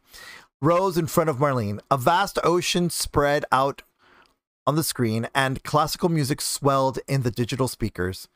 The title cards flickered on their in their usual sequence. Cast, editor, director of photography, and so on until the last card. Director Samuel Kahan. Marlene had always enjoyed Kahan movies, and she generally stayed up to date on the latest titles that floated in dinner conversations with friends on the weekend. And yet she had no idea what Samuel Kahan had released uh, had released another film. In fact, she had thought that he had died a few years back. He was in his 70s, not at the very least, wasn't he? Oye wove two women's stories together across a time span of 20 days. The narrator announced, oh, the narrator announced, the young women, a, younger woman, the younger woman, a seamstress in a Baghdad clothing factory, brash on the verge of 19 years of age, clashed with her mentor, a woman in her early 70s who compromised nothing. Within the first 30 minutes of the film, a suicide bomb tore open the city where the factory was located. The women were physically unharmed, but for those 20 days, they were they left their jobs behind to help the rescue operations on the street. They were to deliver buckets of water to victims in the areas of the blast, as well as for the rescue workers. Men pushed them aside, shouting at them to let men do it. But the two women, both nameless, continued to carry their buckets, even while soldiers threatened them with their rifles to stop. And then the young woman delivered a plastic jug of water to a rescue to the rescue crew. The camera dove into the side of the wreckage, which was nothing short of a horror. Marlene reached the bottom of her bag for a fourth bottle of Chardonnay. Days passed in the movie, and only and on day 14, the two women began to rebuild their lives after the tragedy as they traded stories about the ghosts they both had spotted in the burning rubble on the day of the explosion. The, the women sat inside a stall that severed that served freshly baked flatbread and tea, and then they stared off into the torn Bag- Baghdad skyline as they talked. The older woman had seen him when she delivered water one late night. The medical workers were on break, and she walked a little deeper into the rubble this time, noticing that a man was crouched on top of the debris. He sat on his haunches and he stared past the older woman. His eyes were red as fire, glowing like embers, and he sang a song under his breath, like a nursery rhyme. The woman grabbed the jugs of water she carried and left the site. And then the younger woman said she saw the the ghost too, and he too had eyes of color of fire. The woman had started to dream about him. The man reappeared to each woman, each of the women in their dreams, in crowded buses, and in the faces of other people in Baghdad who survived the suicide bombing. Marlene fell in, fell deep into the film, her happy place. This was the silence she had needed most. Inside the womb of the mus- of the movie theater, she lived through the two women inside Oe. And she was no longer part of Morton and Morton. She was not a co-op owner with a mortgage that was was a bit more than she could handle. She was not a person that had some serious scares with m- mammograms every couple years. He was not Marlene.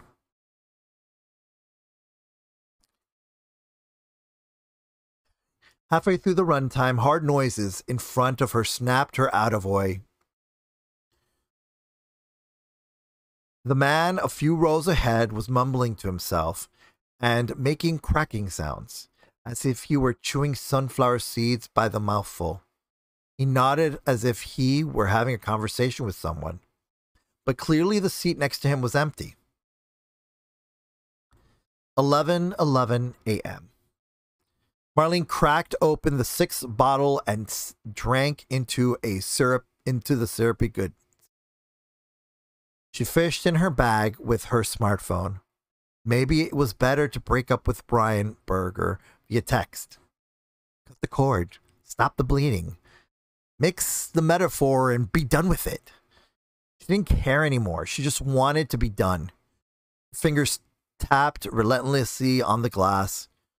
She hoped the man seated in front of her wouldn't notice the glow on the, the device in her hands.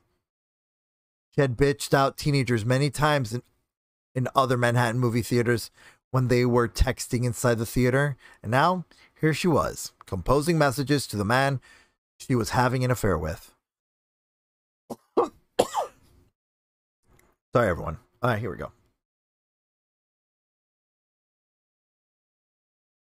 All right, there we go.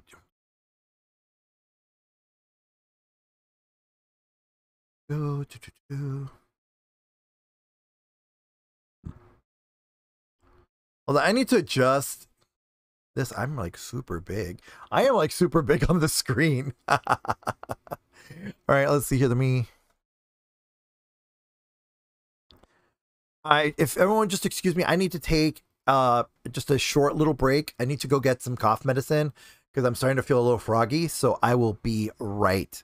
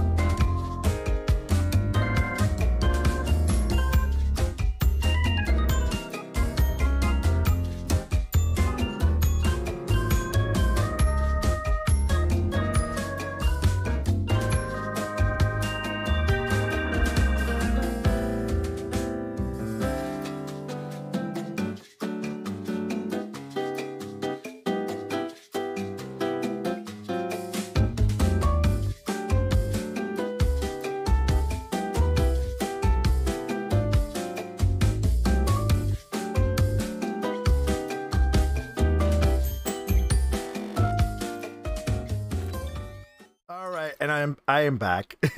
All right, I'm feeling a little better. I just need to take a, just some some cold medicine and my antibiotics. So before I forget. For those of you who don't know, I am coming down from a uh, an upper respiratory infection, so I'm taking my time doing this. So if you notice that I'm like breaking up the reading to interacting is because I'm trying not to push myself too hard. So I, I definitely need to take definitely taking my health into consideration first before before continuing on, you know, with with pushing myself too hard. So yeah. All right, so here we go. Uh we're back. Let's see here. She had bitched out teenagers many times in over Manhattan movie theaters when they were texting inside the theater. And now here she was composing messages to the man she was having an affair with. We have to finish this, she texted. She cupped her hands over the screen and dimmed the brightness. Brian was quick to reply. Why? It's just it just isn't right. Your promotion complicates things. Why are you texting me about this now? This is very strange, Boo. Not strange at all. I'm coming to your office right now. No, don't do that. We've been drawing we we've already drawn too much attention to ourselves. Stay in your office.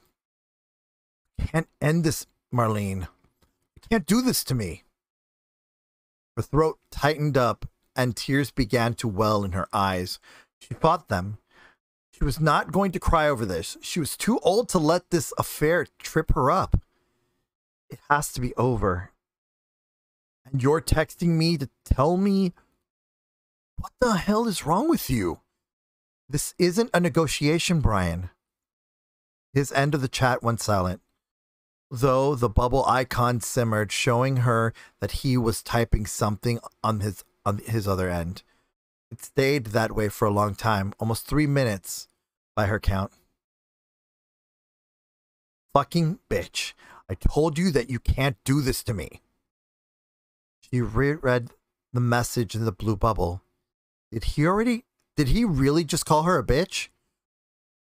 Her stomach tightened with fear. She had seen so many domestic violence cases started start with language like this. You don't get to talk to me like that. Oh, I can't? I'll do the what, what I fucking want. You can't take this away from me, Marlene. I am nothing without you. What else do you want? You made partner today. You don't understand. You're supposed to be with me. Brian texted Marlene the only photo they had ever taken together. It was a selfie in Bryant Park, taken in a hurry and blurred at the edges. She looked genuinely happy in the photo. She had only ever felt this kind of contentment twice in her life once with Thaddeus and the second with Brian. The photo self destructed in the chat app in both of their phones after 30 seconds, a safety precaution that gave Marlene a lot of relief. Told you to delete that image from your camera roll, Brian do this to me. Stop. You can't do this to me. If he was repeating himself, she knew he was very upset. It's over. End of discussion. She was glad she hadn't ever let Brian keep a single toiletry at her apartment. Even just a toothbrush would make this bigger mess than it already was. The only physical evidence of their affair was the memory of his stubble on her skin the way he pumped her thighs with his veiny forearms, the ghost of his arousal inside her body, and the way she had his body with her mouth, her fingers, how he, he had moaned when she, mm-hmm, mm-hmm, uh-huh. He, when he felt very submissive. spicy, spicy, spicy, spicy, spicy, spicy. But there was also single, but there was also that single photo, the selfie that never should have they that they never should have taken together. Oh, Uptight bitch, he texted. Brian's anger was not new to her, but it still stung to hear him act so surprised. She pressed her hand to her forehead and hoped the Norco would soon dissolve in the headache bega- behind her eyes. She jammed the phone back into the bottom of her bag. Boy continued before her, and the younger of the two women rolled out dough to make flatbread in the older woman's kitchen. The young woman wore a headscarf and she stared into the smaller magnetized window on her, on her refrigerator.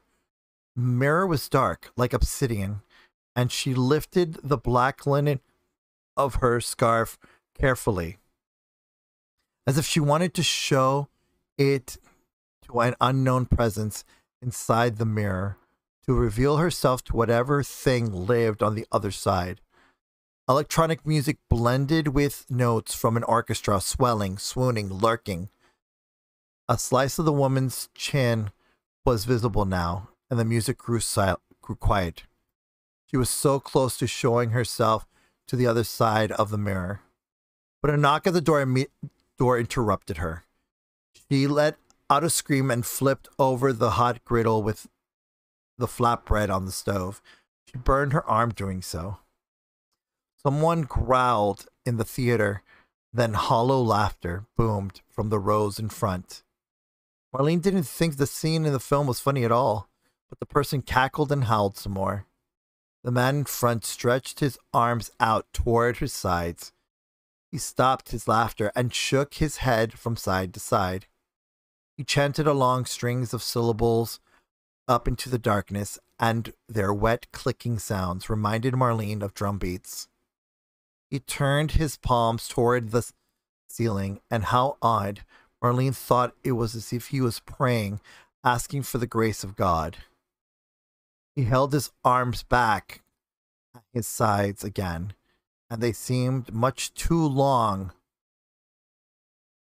like a puppet arms.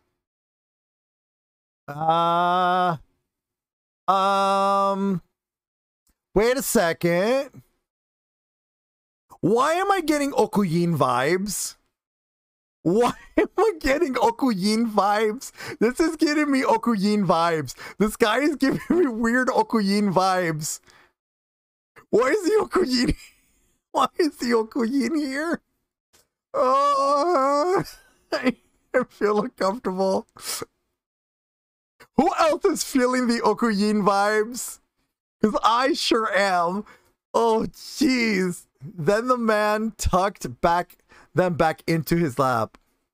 The chant sped up, and then it became clear this was not chanting, it was prayer. His shoulders and arms shook, and she wondered. Just keep reading. His shoulders and arms shook, and she wondered if he was jerking off in his seat, harkening back to the days of Times Square that no longer existed. 11 11 a.m. The film flashed sh- in shades of indigo and cornflower blue, and Marlene felt it then an anger, a loneliness packed into one neat little nugget that festered in her chest. She was not paying attention anymore to the plot of the movie. Instead, her anger was calling out to her to do something about this Jesus loving perv in the screening room. Hey, you knock it. Hey, you shit, knock it off, she shouted into the darkness. Totec, the man shouted. It was a tenor voice deep, but also a little ragged at the edges. Totec, he repeated. I'm calling the police. She stood up from her seat, swiping in the bag, insert, swiping in the bag in search of her smartphone. A public indecency charge was insignificant, but she wanted to feel right, to get the last word in. She wanted to scare this asshole. He stood up, and the light projected from the back of the room turned him into a figure of dark blue, gray, and green, contoured by shadow. Marlene couldn't see his face, but she could see his whirly outline, wiry outline. Totec. The man shouted again. extending the puppet arms again at his side. They still seemed way too long, frail, almost like those of a rag doll. Marlene was not afraid. She was angry. Her mouth and arms tingled. She wanted to show this asshole that what it looks like to behave in a movie theater. The man hooked his arms over the back of the seat and with a single stride thrust one leg over the rows of chairs. His other leg followed. The extremities clearly cleared the cinema, chairs with the agility of a praying mantis clambering over a bunch, a branch. As he hopped over the row, Marlene could see his face was pockmarked, like the aftermath of many bouts of teen- teenage acne. He was just one row away from her. She stood up. What the hell are you doing? Xipe Totec. He climbed over one more row and loomed over her. She clenched her fist, ready to clock him if he if needed. I'm not playing games with you. He was much shorter up close. She had imagined shorter than her, maybe five six, but she could still not make out his face, despite the fact that the light from the movie projection should have lit up lit his features up. Oi went dark as the two women ascended into the abandoned, bombed out apartment building, and the lack of lighting in the film put the man into deeper shadow. Shipe Toltek. Just a moment before, he had been clothed in some sort of short sleeve shirt, but now, close as she could see, his bare skin was exposed, or what was left of it. Wait, wait, wait, wait, wait. Wait, isn't Shipe Toltek what? Isn't Shipe Toltek what Xolotl said to Clara Montes in 13 Secret Cities? Towards like the very end?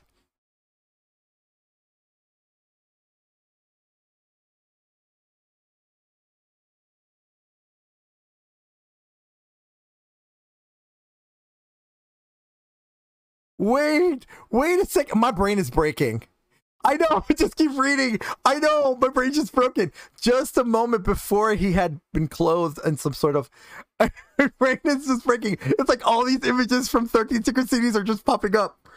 Um, let's see here. Uh, his skin was exposed, or what was left of it. In the in the murk, she saw horrible things, flaps of skin and wounds and cuts that should not be possible except in a butcher shop.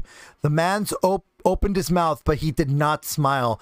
The mouth was toothless, like that of a very old person. His gums were wet, black, runny. The man held had held a long, sharp object in his hand, and it glinted silver in the theater. She had she had seen something like it before, but she couldn't recall when or where. The man fondled the weapon with tenderness. The film continued, and the dialogues of the Iraqi women spattered through the speakers. The man stared right into Marlene's eyes, and now that he was up close, his chest and belly no longer looked like no longer looked like hamburger meat, and he was no longer naked. He was clothed in the t-shirt and jeans, but the sharp object was still there at his side. His shoulder muscles bunched up as he gathered energy and stood before her, just two feet away. Xipe Totec. Oh God. She turned on the balls of her feet to pivot from the man and run down the aisle, but she was too late. He swiped at her with the sharp object once, twice, and she felt stings across her throat and her belly. The movie projector flashed like strobe, and the blade in front of her sliced. Wetness spread across her torso, and she put her hands up, remembering the boxing stance she had learned from her personal trainer. But soon the man lunged right at her, and she could see right in his face. One of his wiry arms pinned her shoulder, while the other had swiped and sliced. Did she smell something like freshly cut flowers? She shouted as the sharp objects cut through the air sideways and down. Her neck snapped back. She lost consciousness, and the darkness of the movie theater shrouded her vision.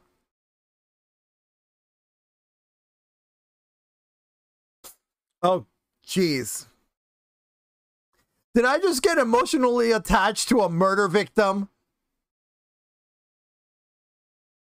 Did I just get emotionally attached to a murder victim? Uh. No, now I remember. Shipitotek was basically what the Okuyin kept saying to uh to Clara Montes when he was trying to kill her.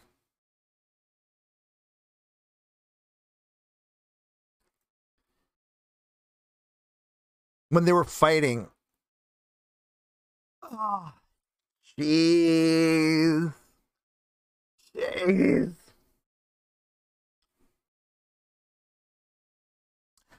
So yeah, we've so hey everyone, we've got a serial killer.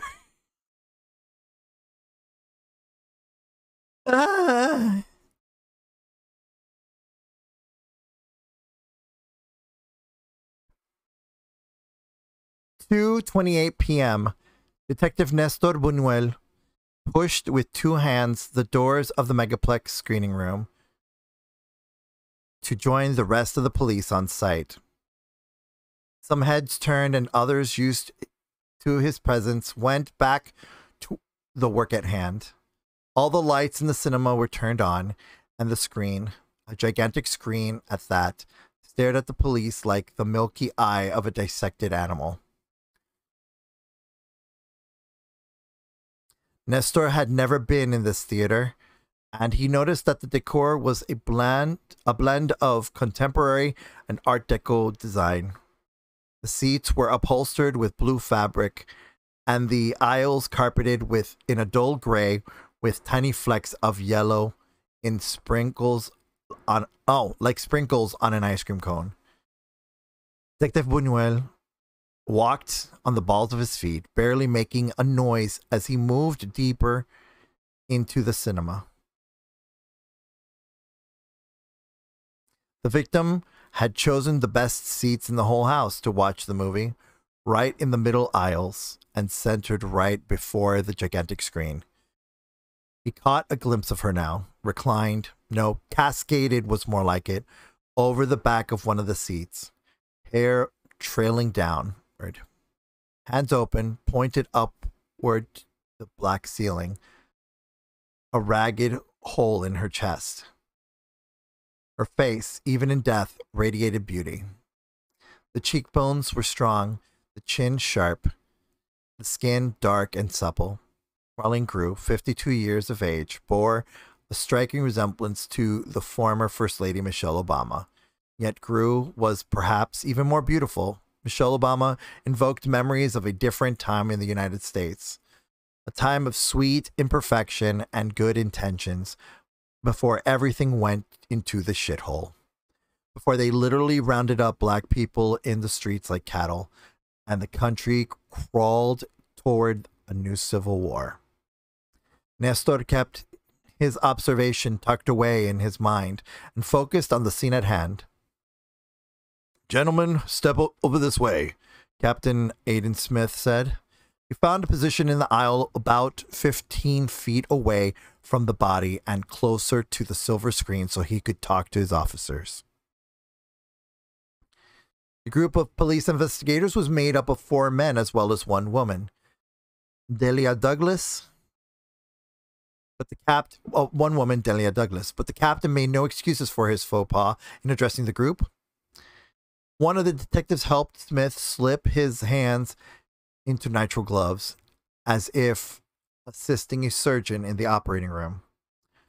At 11:32 a.m. today, we received a 911 call from one of the managers at this theater. He reported finding a body in one of the aisles.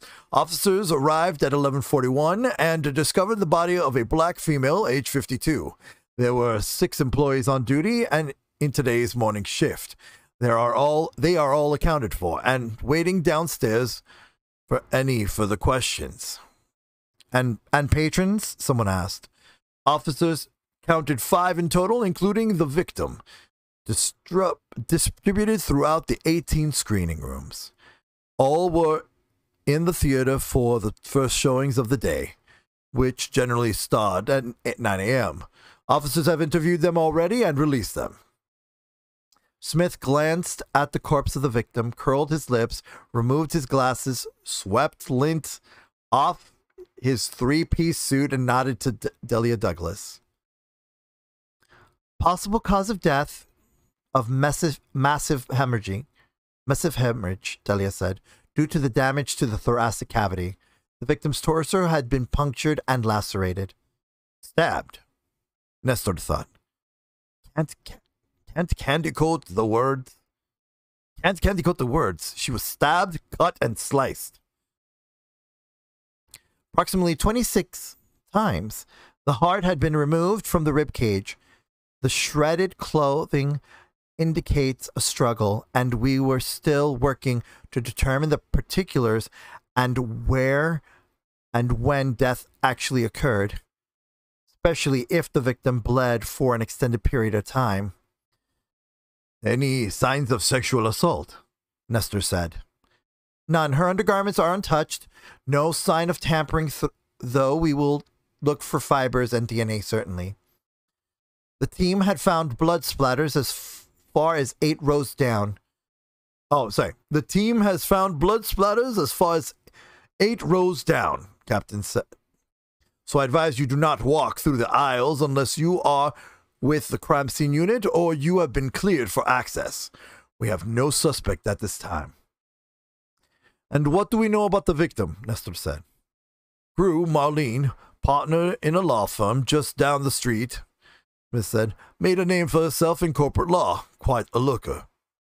A couple of investigators giggled. Delia Douglas turned her facial expression into stone. Angry or disenfranchised, Nestor couldn't tell, though he could make a very good guess. When, when you've been murdered, Nestor thought, it would be fucking nice to get some respect and not have your investigators focus on your face and tits. But there was a little but there was little that he could do about Smith's comment. Over the year, Nestor had to figure out when it was wise to go to battle, and this was not one of those times. Any domestic abuse leads, Nestor said. Maybe she was followed here. None. She divorced, and her ex husband's alibi is already set. He works for NBC News and is accounted for. Any boyfriends, lovers? We're just beginning the investigation, but she was single and not dating anyone as far as anyone knows. Nestor made a note in his notepad to go deeper into the lawyer's personal life once he finished up at the scene. Marlene Grew had been laid face up the back of the seat and her eyes rolled back in her head, showing only the whites. Nestor ran some calculations of the length and width of the theater and was ready to start surveying the scene himself. And the projectionist? Nestor said. Oh, that's nothing but a memory of the old days, Smith said. There are no projectionists in the movie theater anymore. Let me guess, Nestor said. Robots. Pretty much. Nestor glanced up into the back of the room and noticed the lights were out in the projection room. He made another note to himself. We have a manager on we have a manager on we have a manager on duty. He's your guy. Smith continued. He's on site for further questioning. Nestor caught a whiff of wetness in the air. It reminded him of the mangroves in Florida from his summer vacations with his mom and dad in elementary school. Digging in the wet clay with his father, looking for God knows what. It was earthy, sweet. It was an earthy, sweet smell.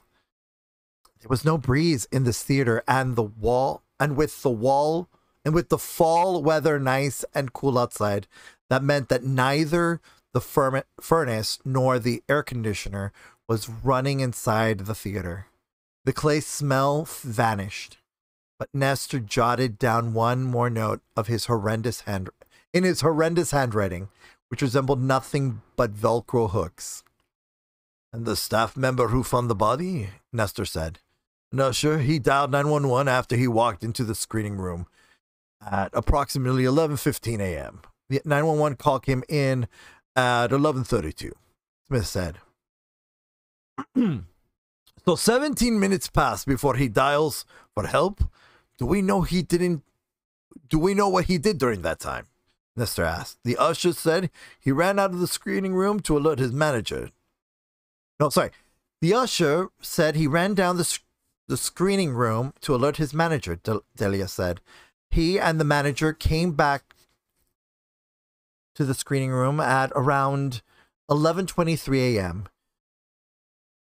He the usher said he was afraid to get near the body. Do we know why? You'll need to chat with him later t- today, but he said that every time he tried to get near the victim, loud noises frightened him away. Wait, wait, wait, wait. Wait. Oh, jeez. All right. The detective, the detectives murmured amongst themselves. Plainclothes officer Devin Jordan spoke up with a question. Captain, can you unpack that? Was the employee high? We don't we don't know yet. We don't know that yet. Well, we don't we don't yet know that, but it doesn't seem likely. My guess is that the movie was still playing and the usher was in a panic, overwhelmed by the sound coming from the soundtrack. Detectives, the employees was walking through the very corridor outside that you just walked through and he said he heard something unusual coming from the theater. He said he heard growls, voices and and Nestor prompted Smith. The manager heard a distinct sound of thunder and rain coming from inside.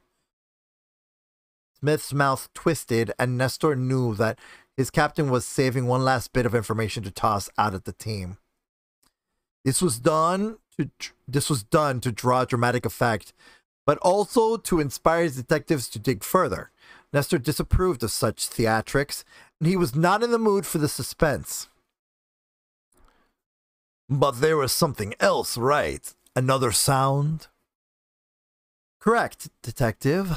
The manager reported three sounds coming from the screening room thunder, rain, and the sound of birds. wait, wait, wait. Hold up. Hold up. What? Wait, wait. Okay. Okay, I need to I need to stop for a second. My brain just broke. So the bird that she saw at the beginning of the book, the bird she saw the night before was a harbinger of death.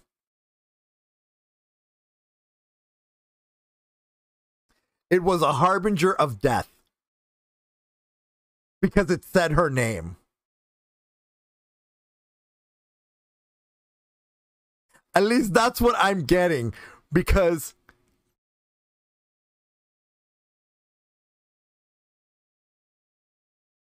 Oh boy. I know, dot, dot, dot. You don't want to give anything away. I know. You don't want to give anything away, that. I know. I know. I know. I know you don't want to give anything away. It's just, I'm like, my mind is freaking blown. It is so freaking blown right now at the moment. All right, here we go. 2.54 p.m. I know, I know, I know, but it's like, I, and I know you're enjoying seeing the connections I'm making and all the conclusions I'm drawing. Um, let's see here. Okay, hold on. 2:54 p.m. Smith pulled Nestor aside so that they could huddle by the emergency exit. It's good to see you, Nestor. Same here. The th- the thing is with the sounds, it's very unusual. Not so much. It was probably the soundtrack for the movie. Smith, have you actually seen the movie? Nestor said. No, I haven't. Well, we can't assume then OAE opened just two weeks ago. Are you saying the killer brought in his own portable speaker to commit the crime? No, what I'm saying is you don't know what the soundtrack of the film is, and you can't say for certain whether it contains the sound of thunder, rain, and birds or not. You're just always so. Yeah, I know. I can't help it. I see you want to get started. Walkthrough is over, Smith said. Buñuelo, debrief me by the end of the day. Yes, sir. Smith tucked his chin into his phone and returned to shouting into the speaker. Nestor flipped up a fresh sheet on his notepad. He walked down to the foot of the projection screen so he could begin his work. The forensics team, made up of two specialists in organic fibers and metals, worked in con- concentric circles around the body, inspecting every aisle and every inch of the floor until they would eventually reach the mutilated body of Marlene Crew. Nestor car- carried his own LED flashlight because in all his years working up cases, he had never had too much light on a crime scene. He focused on his breathing, letting his shoulders drop and softening his belly. Without mental focus, he wouldn't be able to do his job. He took in the scene with eye, nose, and even skin. Nestor withdrew his Sony RX 500 III point and shoot camera from his jean pocket and powered it on. The innocuous camera took better 10K video than the DSLRs the department provided, and with low light images were better than any he had ever seen. More importantly, since he had his own he was the owner of the gear, Nestor had disabled Bluetooth and Wi-Fi on the camera permanently to add an extra layer of security for his data. Nestor took four steps back in order to frame the murder scene as widely as the aisle would let him. He he needed the landscape view. He glanced up above and saw the gray eye of the projection screen tower, tower above him. The theater before him seated roughly 350 people. It was important not to begin to not begin uh, it was important to not begin to inspect the scene visually with a small with the smaller details first because the first view the macro view needed to be understood first for him the screening room extended upward and out like a coliseum of red upholstery and black plastic up in the middle of the seats slightly toward the left the forensics team hovered over the victim the layout of the theater was typical of a big chain. A main aisle in the center and a row and narrow aisles flanking the sides. No stadium seating, at least not in this screening room. The theater itself was a vulgar was as vulgar as could be. Part of a major corporate chain of theaters and it looked like and it looked and smelled exactly the same in the 20 continental states they operated in. A mixed cinema. this was yet another contribution to the mon- monoculture of the planet that was making so much of the culture so bland. Nestor pressed the shutter button multiple times and the flash crackled with harsh light. The forensics team took a few steps away from their work, giving Nestor a view of who had come there to see. Floating a vast ocean of cinema seats, the victim lay face up. Nestor took a couple more breath, deep breaths and analyzed the body, the pose, the colors, and the silhouettes. This was Marlene Grew. She faced the ceiling, and her half naked torso, bathed in blood, bent outward like a crescent shape.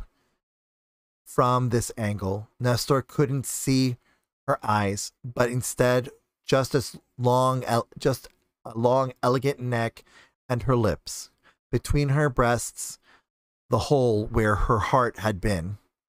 Ragged bits of flesh glimmered wetly around the light from some from the scones, sconces and the ceiling lights. Her breasts were full, bathed in blood, and nipples of the color of rust. The position of the body had the hands at the at the sides with the palms facing up, and the smooth lines of the neck that curled back over the seat was exact was actually very serene, as if something very important had just happened in this room. Nestor snapped more shots, took a few steps closer to the body, and snapped a few dozens more. The camera clicked and whirred like an extension of his hands, eyes, and brain. Nestor breathed in deep, and instead of trying to brush aside the stench of copper from his nostrils, he allowed himself to really smell it, to open up his nose to all the notes in the room. Beneath its sharp tang, there were was also the smell of almond joy, nachos, carpet cleaner, and even stale urine, woman's perfume, and expensive soap, and another smell like swamp or dirt after the rain. Somewhat pleasant but unusual. And suddenly he also detected the mangrove smell he, he caught earlier when he entered the room.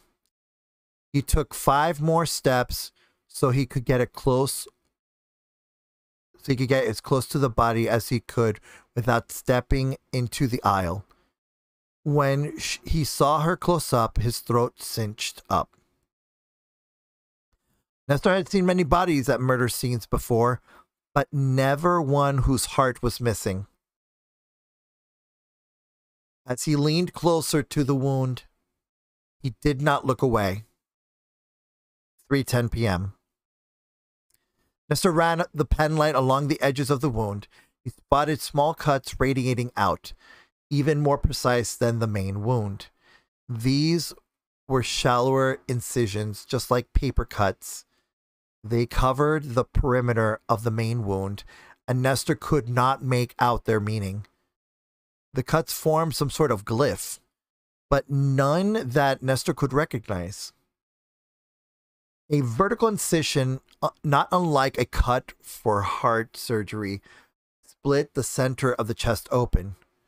Nestor cut a caught a shape in his peripheral vision. Officer Devin Jordan. I don't mean to tell you how to do your job, detective, but you may want to look underneath the body if you want to get, if you can, get a shot of the lat muscles right in the back beneath the shoulder blades. I know what lats are, Devin. Of course. How would? How? No. Of course you. No. Ah, of course you would.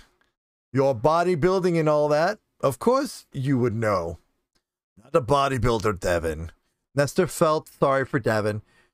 He had the potential to be a great investigator, but his passivity, his craving to please and not show any kind of dissent to anyone, was a huge setback for the man. Help me out, will you, Devin? Of course. Just grab my camera and shoot while I shine my flashlight on the wound. It's a good suggestion you made. There, beneath the straps of the bra, beneath the shoulders, and just an inch or two below the armpit, Nestor spotted a couple more symbols carved just deep enough into the skin to draw blood. Follow me, Nestor said. Together they walked through the back of the theater, crossed the hallway to reach the bottom of the other door, and walked over to the over to the body from the right aisle. By doing so, they could avoid walking in front of the screen, which was no longer accessible. As the crime scene investigation unit worked on the blood that had dripped beneath dripped down beneath the seats toward the front of the room. Nestor scribbled more notes on his pad while Devin tapped notes into his phone. We're going to miss you, Detective, Devin said. I'll miss everyone too. Well, almost everyone. I know what you mean, Devin said.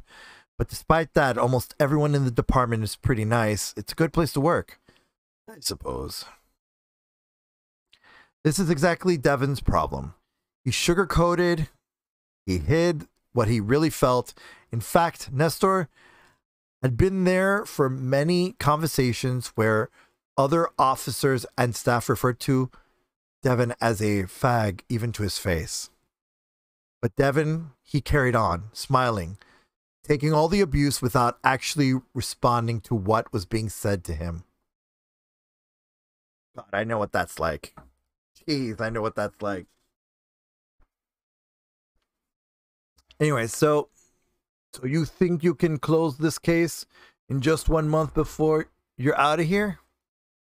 Nestor ignored Devin's question. Nestor clicked his penlight off and tucked the notepad into his jacket. He pressed his lips together, turned to Devin.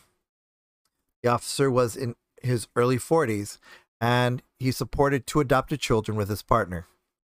He always worked extra hours. Devin had joined the force in his late 30s, which was much too late. But Nestor could judge a man on that account.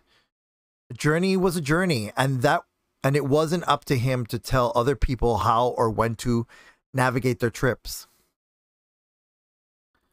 I bet you'll be glad to do what you really want to do. Just write your books and forget the problems of this department. Nestor checked his phone for messages and snapped off his nitrile gloves. He patted Devin on the shoulder. Writing doesn't. Wait. Writing doesn't help the problems I've got, he said, and walked out of the cinema into the hallway.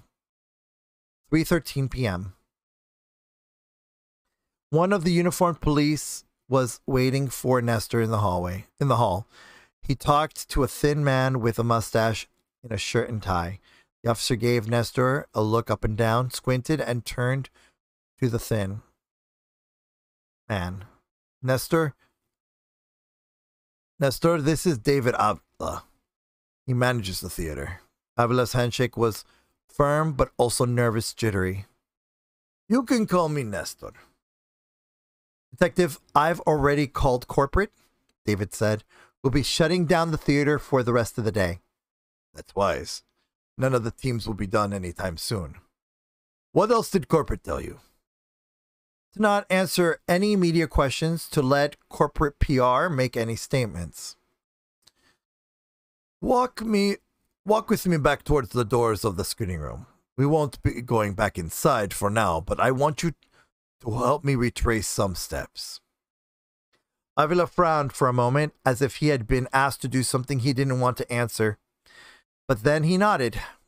The officer peeled off and walked back into the screening room. My men tell me there are no projectionists here, Nestor said. He set the pace for their walk, slow, measured, even creating a sense of privacy between them to make Avila feel safer and more willing to trust Nestor. That's correct. We manage all the projections using a computer. The server programs the showtimes of the main feature plus the trailers. Maybe times have moved faster than I ever imagined. I should have guessed everything's automated now. We employ a few people. We employ very few people anymore. Even the cleaning crews are being replaced with automated cleaning robots. Does that mean the projection room was empty during the showing where the murder took place? Technically, yes. Managers and, and or select employees can enter the projection rooms, but they generally run by themselves. We only go in there in case we have a reboot hardware. We have to reboot hardware. And there are no cameras inside the actual screening rooms. None. You could say that there's only one eye in the cinema, and that's the eye of the projector, which is just a robot. But you have cameras everywhere else. Correct. We monitor every hallway, bathroom, and concession stand, the concession stands, the space inside the theater. We don't actually have cameras in the screening rooms. Yet. Detective, how do you know that? Well, surveillance is everywhere. Corporate announced that infrared cameras are coming, but that's a year away. He reached the doors of the screening room. Nestor eclipsed the theater manager with his girth, and he stepped away from the overhead lights to diminish himself and seem less harsh under the lights, to build even more trust. Who on your staff discovered the body? John Dean. He was on duty on the this floor at the time. He heard noises. Tell me about that. David Avila hesitated. The bags under his eyes were gray, and his body language spoke of a discomfort and perhaps a certain kind of loss, but the man was energetic nonetheless. This is the 13th and final movie by Samuel Cahan, and any chances I get to see the film, to hear the film, I'll take them. There's no director like him, and there'll never be. Can you be more specific about what you mean? As you may have known, parts of Cahan's genius comes from his use of music. He always picks the right music for each and every one of his films. He used Beethoven in Kino Lotko, John Strauss's Blue Danube Waltz, and John Coltrane in Xenogenius, Xenogenesis. Simply masterful. So tell me about the music in Oi. I've seen the film three times since it's premiered two week since it premiered two weeks ago, and I'm a I'm just blown away, blown away, detective. How did Cahan do it? How could he infuse such magic into a single movie? You tell me. Cahan based Oi on the novel by David Sa- David Saba. Do you know the book? I don't. Nestor shook his head when he was when he had started publishing his novels in the, his early 30s. He had stopped reading fiction altogether. Nowadays, he read only science journals, military histories, and bi- biographies of Colombian novelists. It's about two women who join a rescue mission after a suicide bomb tears apart a whole city block in Baghdad. Why do these two women survive, and why do they keep seeing ghosts in the rubble? Seems very different from Cahan's movies about outer space and aliens or correctional technical techniques for criminals. Ah, but that's ah, but that's the magic of Cahan. Each one of his movies is as different as can be from the others, detective. Just look at the man the Marston House. It's Cahan's foray into the horror genre, and it was unlike any others he had directed up until that point. And he never made a movie like Marston, Marston House again. He was a true original. So about the music in Oi. Mind blowing. Cahan used the music of the Swedish synth rock group Archangel. Hey? What? Okay, I'm sorry, I'm gonna keep reading. And juxtaposed it with Béla Bartók's Bluebeard's Castle. Just thinking about it sends chills up my spine. We have lost one of the true great films, is all I can say. True greats of film is all I can say. I didn't know he died.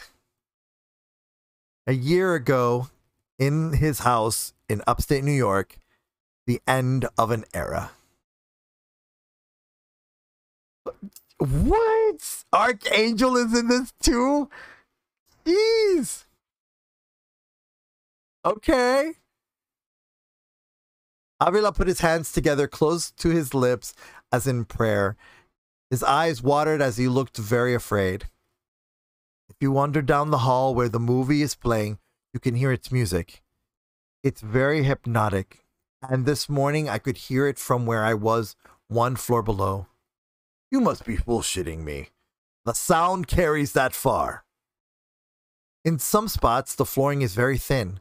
Today, I heard something different. But even as I noticed it, I decided not to make a big deal about it. Different how? I heard thunder, loud cracks like the end of the world. I thought it was raining outside, but raining wrongly. Wrongly how? Ever been to the jungle or to the woods? Yes. Like that. The kind of rain where the trees and earth are part of the sound, like a titan is shaking the world. And what happened next, David? John Dean came running toward me, babbling, telling me he, he saw a medical emergency on your. We had a medical emergency on our hands. Avila cleared his throat. He was very spooked, and he didn't want to go back into the theater by himself. So we went together. So you went together. Well, only up to the main doors. I walked in, and at first I thought the room was empty. But as I went down the aisle, I saw her, just like you found her. It's possible for someone to enter the theater from the emergency exits near the screen? Yes, of course, but we are notified in an app if those doors are opened. They set off an internal alarm. No such thing happened today. Whoever did this would have had to be in the room with her. Avila bit his lip and turned his head, and his eyes welled with tears. Do you need a minute? In all his time as a detective, Nestor had always been able to spot this type of moment. It was as if the source of something lodged in his throat or of in his or her throat and needed to be spit out. You need to know something. What's that? I knew immediately from the way the killer left the body, I was looking at something special. Come with me, please. Nestor followed Avila out in the lobby, looked away from the teams of investigator. Once they were out of earshot, Avila leaned in with spearmint gum breath. Detective, that body, the way the killer sliced open her chest, the way it, it just lay there. I saw that before. Did you ever see Kahan's movie Nine Lords of Night?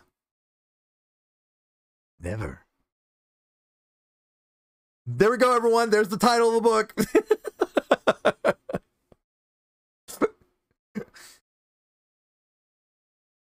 never. I have never seen. I haven't. I have. I've seen it at least thirty times. I own a copy of it on Laserdisc. If you remember what those were, if you remember what those were, she was cut up and positioned just like one of the murders committed in that movie. What is Nine Lords of Night about, David? It's a mystery unlike any you could ever imagine. 3:31 p.m. Avila Oh, no. Don't, Roku, please don't make me read this in telenovela mode. Okay. All right. Here we go. Here we go again with telenovela mode. We're going to get extra dramatic. And oh, I was about to drink water, but thank you. Thank you. Thank you. All right. Here we go. We're going into te- 3.31 p.m. I'm going to mark this. Hold on. 3.31 p.m. We're, we're heading into telenovela mode. Then we set the timer for 10 minutes. Let me take a sip. Avila pushed the table right beneath Nestor's face. Google Images showed him a distorted images. Funny, fuzzy and grainy, a mirage in VHS. That still from Nine Lords of Night. But what is it I am looking at? Help me out. A human figure had been draped over a wooden bench, arms splayed at the sides. The gender was impossible to determine because the figure was dressed in long robes. Sunlight from a courtyard or maybe a skylight washed out their features. The robes had been ripped open at the chest and a hole had been carved out. Superimposed. Superimposed on the image was a shape something vaguely humanoid inside a widely wide black sky. Objects hung from the figure's neck, wrist, waist, and ankles. Nestor didn't know that much about film, but it looked ghostly, overexposed. Do you see a tentacled monster up in the ceiling? Nestor squinted and shook his head. Funny, that's the one most people see. I see it. A squid like thing bristling with eyes. Horrible looking. Just ceiling. And in a lower right corner of the frame, detective, what do you see? The shape of a man or a woman, not sure, grayish white. You don't see dots or loops or an eye of an eagle? David Avila uh, bit his lips. No, not at all. God, sorry. I'm so sorry, Cesar. That's the strangeness of the film, detective. Some people see figures, some see the squid monster, and a few like you see a white figure. Nestor had dealt with copycat murders in the past, but this was a fucking stretch. He took a second look at Avila to search for clues. A harmless eccentric, most likely, but a determined one. What other things do people see in the film's images? Some see a beautiful pair of twins. Other people see have reported seeing the face of Jesus Christ. Nestor noticed how quiet and still these carpeted hallways were, even now, with a dozen officers milling about. The elevator doors loomed at every at the very end of the hallway, with a massive red door beneath fan-shaped Art Deco dials. Every inch of the space silent as a cave. Nestor snapped out of his distraction and turned back to David Avila. What's the movie about? We would need a couple of hours to really unpack that. You see, Samuel Kahan's films worked on so many levels. I've heard that. What kind of levels?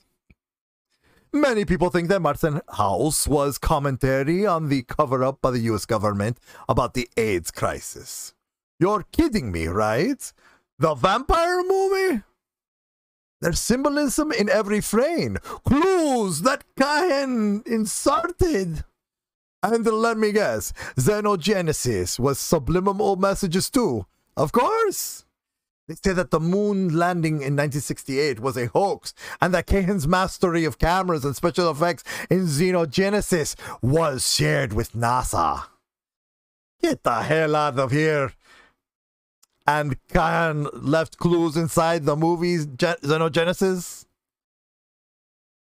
People really spend this much time picking apart these films? Come on, detective, it's Kahan! He was nominated for an Academy Award 13 times! Okay, relax, Avila. How many did he win? Uh, just one for visual special effects for Xenogenesis. Nestor had to admit this man's passion was infectious, but he had a big day ahead, no time to waste.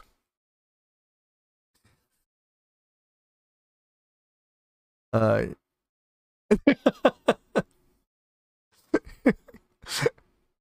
it. So it was. So was it the movie Nine? So what is the movie Nine Lords of Night about?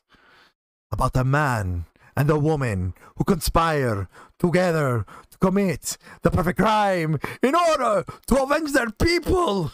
You see, they have been sold out and they want justice. Nestor took a deep breath. Don't get angry, detective. I'm not. I just thought you looked like the kind of person who might apprentice, appreciate this esoteric bit of film history. What makes you think I look that way? Avila blushed and broke eye contact. I don't know. Sorry I brought it up. No, humor me. What is it about me? You're not like other people, Avila said. I can sense it.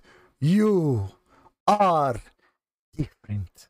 The air conditioning system kicked in and filled the air with the robotic hum. Nestor's stomach cramped for a moment. 3:45 p.m.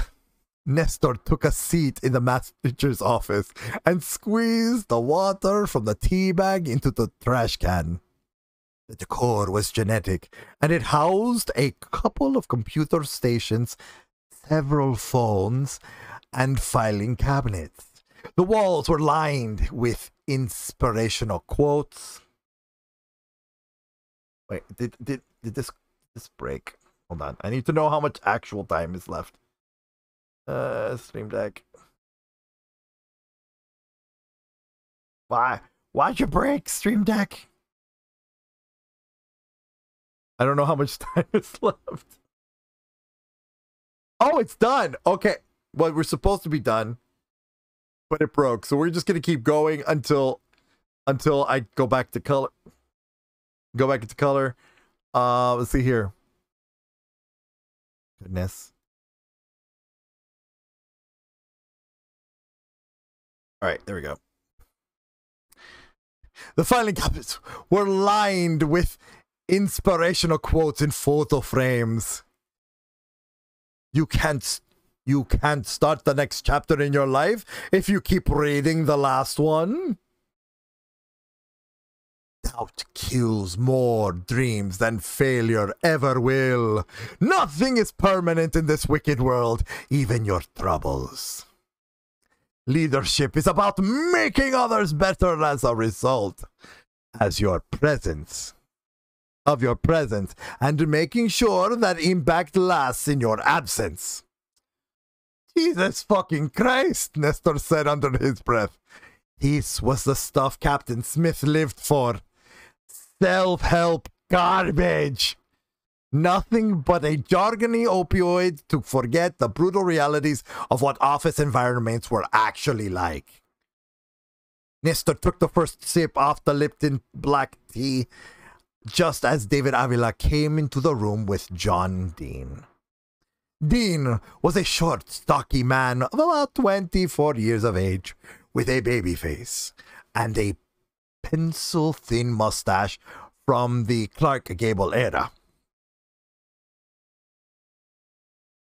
I know, I'm going to be stuck in telenovela mode until I, until I revert back. Let's see here. His face was drained of any joy, but he sta- but he stared at Nestor intensely as he pulled up a seat with his boss across the table. Dean extended his hands first. Detective, he said. I've got putting my hand above my head. You guys can't see it. Detective, he said. The handshake was hard and unrelenting. John Dean Avila said. Detective Nestor Buñuelo, good to meet you. Nestor said, John, can you describe what happened this morning? He smiled, cleared his throat. Oh, oh, good, we're back. We're back. I can stop reading that in telenovela mode. Thank goodness I can read it normal again. All right, let me. Ah. All right, here we go. All right, where was I? Dean smiled, cleared his throat. I do routine checks through throughout the theater, and if I may say so, I'm damn good at it, aren't I, David? David nodded just as he let out a short sigh. I've taught you well. I've checked theaters 6 through 12 this morning already, and 13 was the last one on that. 13?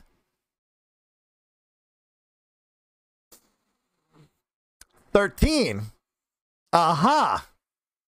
13. Uh-huh. Uh-huh. I'm seeing a pattern here. I'm seeing a pattern here.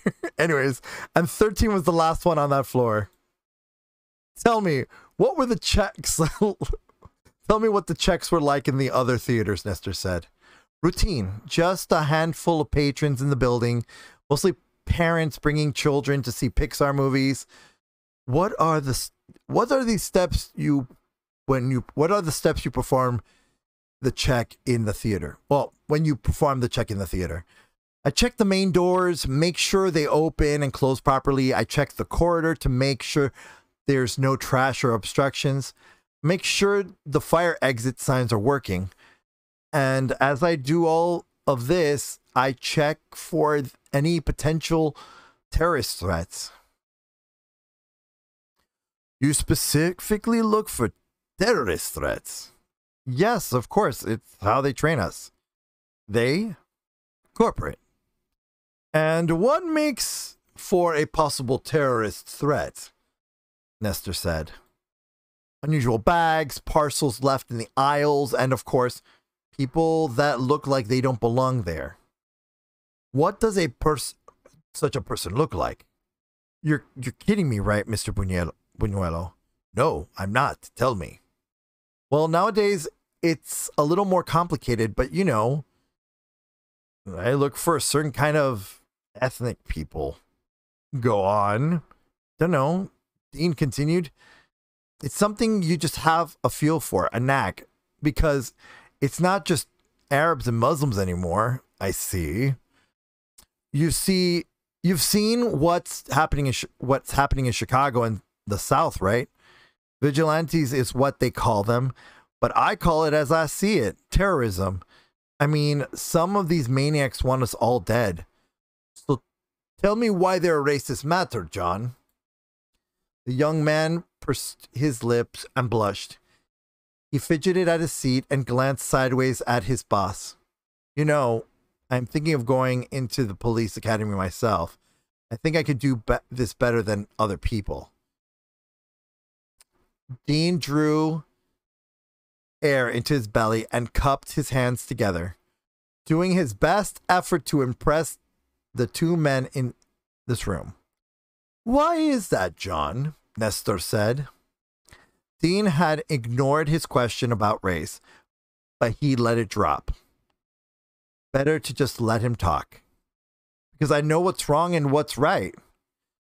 That's really what's needed in a cop nowadays, is it su- in such a complicated world? And someday you want to be a uniformed officer or detective. Neither. I just want to go all the way to the top. FBI, CIA. Nestor clenched his teeth, smiling at the young man. This kid had been too scared to go back into the screening room by himself. If you are afraid of dead bodies, you will never cut it in this job, John Dean. But instead of negating Dean's words, Nestor would feed his ego so he would reveal himself further. So if if you're headed to the FBI, you're in the wrong line of work. Running a movie theater then. I realize, detective, all things in due time. And today, did you spot any and today did you sp- spot anyone giving off any signs of being a terrorist? Can't say I did. Most people in here were white except for you know, her. Her who? The dead lady. So you walked me through what happened when you checked Theater 13. 3:59 p.m.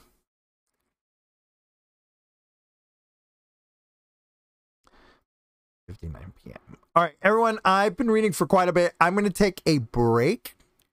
I'm going to take a, a quick ten-minute break so I can get some more water and to rest my voice for a little bit. And I will be right back. That's if Yes, it's gonna let me. That's if the stream deck will let me. Uh, let's go ahead and put 10 minutes on the clock.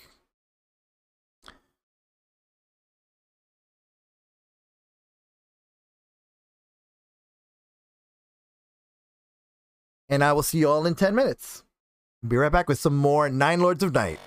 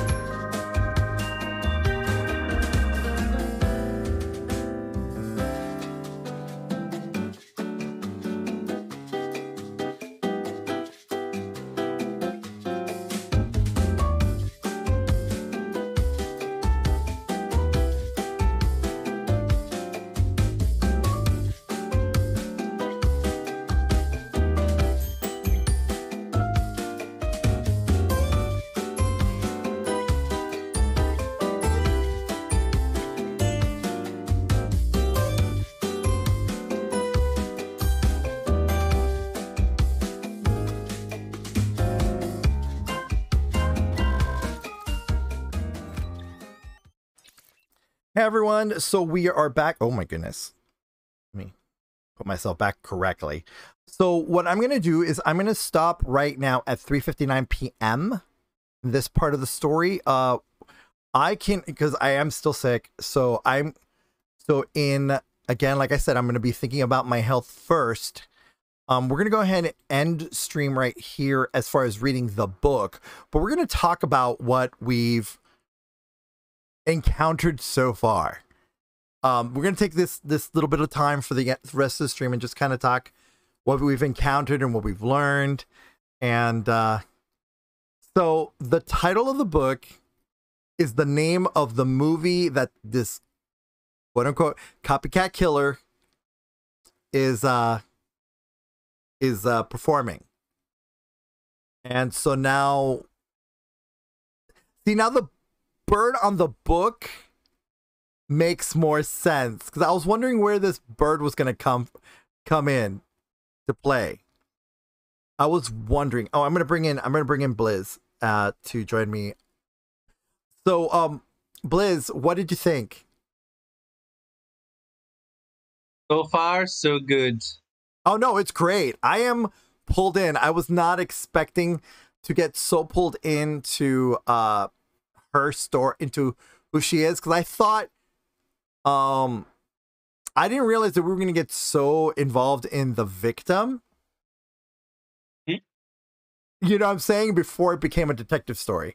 So now it, Yeah. now the chapters make sense. These are the detective's notes.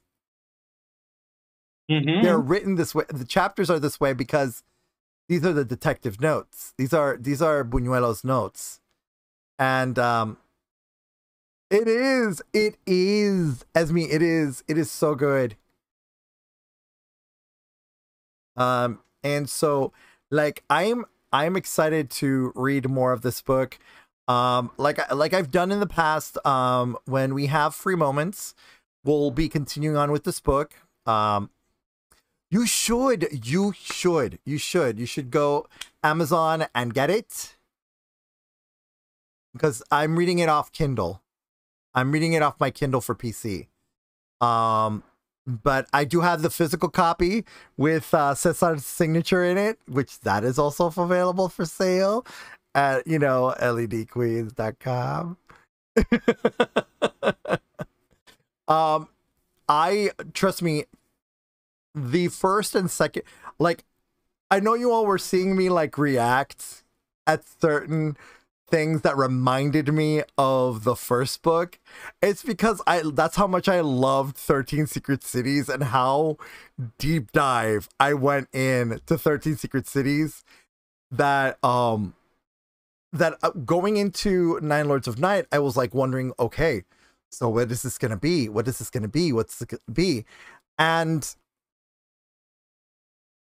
okay this is it's creepy oh my gosh it is definitely supernatural. This this this is so far creepy. Um and i'm just wondering um are we gonna what what's gonna happen like are we gonna appro- is buñuelo gonna invest is gonna is buñuelo gonna talk to brian? Like what's going on? And the thing is that she was like oh yeah that sound or like you know that whole sound was like a harbinger of death or something like that like that she was waiting to hear about somebody dying. And the fact that the bird the bird said her name i was like it was telling her that she was gonna die. And to do the right thing before she died. Wow that it wasn't too late for her to change things. And uh but that's that's what it that's what it that's what it that's how i read it. That's how i read that. Um the fact that there were nods in her life um to Xolotl and to to uh blue hummingbird and um but yes blue hummingbird is definitely my favorite character from 13 secret cities um i'm I, i'm interested where where um where detective buñuelo is gonna take this like where his journey is gonna go Um, I'm drawn in. I am thoroughly drawn in, and I now need to know what is this movie about. Oh, welcome back, welcome back.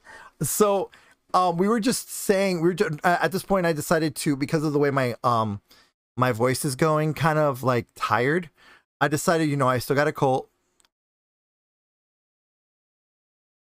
Oh, Buñuel, Buñuel. I I keep adding the la- the O at the end. I am so sorry. Yes, Buñuel. His last name is Buñuel. That's that's correct. Buñuel. I don't know why I keep Buñuelo. yes, Detective Buñuel. Um, so I'm excited to see what else Doctor Bu- uh, Doctor Detective Buñuel does. Um, but yeah, no, the symbolism behind sh- the Xolotl and Blue Hummingbird and the snake and it's like the famous Luis Buñuel. I, I, I kind of got that that that was that there was like a uh, an homage in that name because it it the the name seemed very pers- purposeful in this in this novel. Um and uh i just gotta say yeah i've noticed. I was like I was like yeah everything is connected. And, and you weren't kidding. Um i will say this.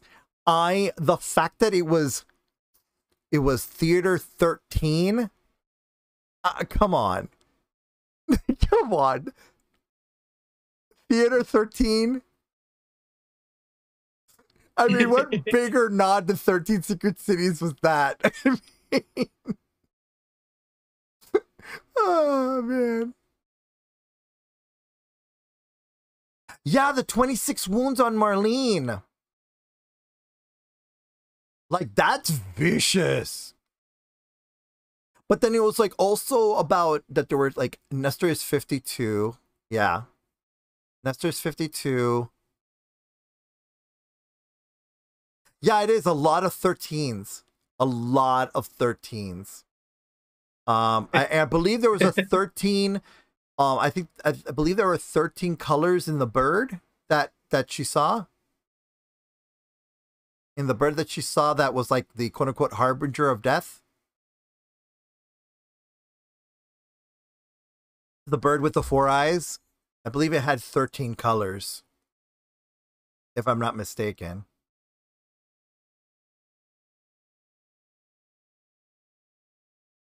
For the aztecs maya was yeah. I think the bird had also 13 colors or something like that. Like it was like very had a lot of semi precious colors in in in its uh plumage um, but yeah, no, I am just, I am, but there was yet so many surprises in this book. Yeah, I know, I know, and the fact that it's just gotten more race, the the, the racist people are just even more racist, and I'm like, damn, the world turned to shit in 2025 it's like like the mentioning of Michelle Obama was like you know the nice years like when it was kind of like not so bad. And then now like everyone everything went to shit. Everything's like everything's to shit. And uh yeah. Um yeah it was just this is I, I like i am curious as to yeah, vigilantes in 2025, sadly, yeah. Um Yeah, exactly, but thank goodness it's fiction. and you wrote this, I believe in 2016? It was like only 4 years after after um 13 Secret Cities. I believe that's when you said no, 28. Was it, hold on. Let me go. Let me go back. Introductions. Yeah, 2018. This was 2018. This book was from 2018. Yeah. I mean, it's published in 2018, but you wrote it 2016, 2017. But yeah, no, it is. I mean, this is amazing. I, man. So we're just on day one. We're still on day one. This is, yeah, this is a very cool story, everyone. Like, I'm just gonna say, you all understand now. You all kind of understand my, why I love this book series so much, and why I want to make sure to read it to all of you because it is so good, uh, so good. Uh, but yeah, no, it's it's this is really good. Um, and I I honestly uh, enjoy reading these for you all. Uh, I cannot wait to to when we can physically have a physical copy of Hall of Mirrors because that will signal when I'll be able to read this book. the signal when it when I when it'll be all right for me to read uh, Hall of Mirrors. Um, because this is just getting juicier like it is like damn we went we went from we went from uh a family story and like a spiritual journey in the first book to now like murder mystery. And it's just interesting. Yeah it is interesting like where this is going. And uh I like how they're connected yet not connected. Like there's simple things that happen in the background of 13 Secret Cities that have made their way into this world so far that I have seen. And I I I love the um the the how it has in how, how it's like like oh remember this oh remember this like I'm like I'm like please don't tell like all of a sudden the, the killer was like like when the killer was climbing over I'm like oh please no not the Okuying please I thought she I thought Clara got rid of the Okuying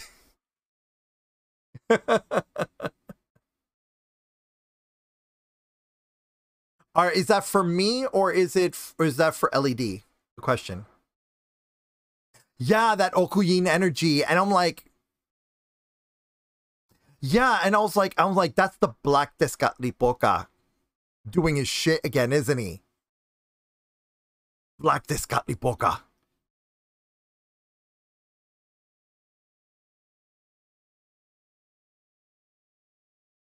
Yeah, I love the continuity. I love the continuity because it's kept me in the book. Mm-hmm.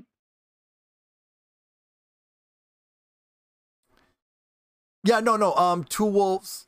Oh, to me. Okay, yeah, sure, sure, yeah, sure, sure. As me, you can ask me. You can ask me. Uh, just shoot me. Uh, shoot me a message. Uh, in DMs on Discord. Um, but yeah, no, I was like, this is just like so cool. I am, I am just enthralled with the world that you've created. I'm I cannot wait to continue reading when my voice is a lot more rested and I'm at like my health is at like at 100% because this was fun.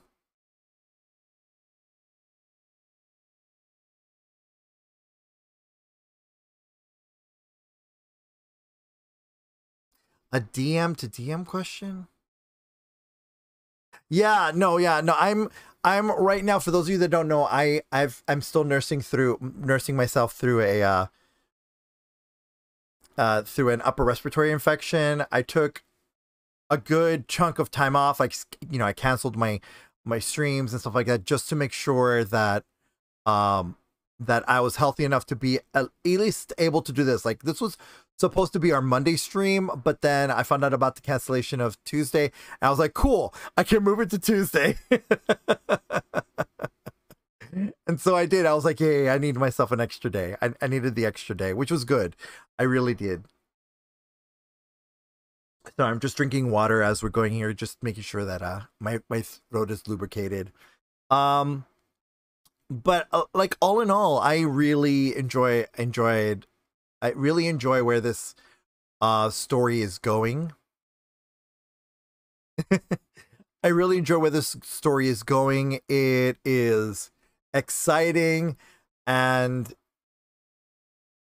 I okay, so what people don't know, I'm really into like um suspense thrillers. And this is scratching that itch. That's what people don't know. I'm really into suspense thrillers.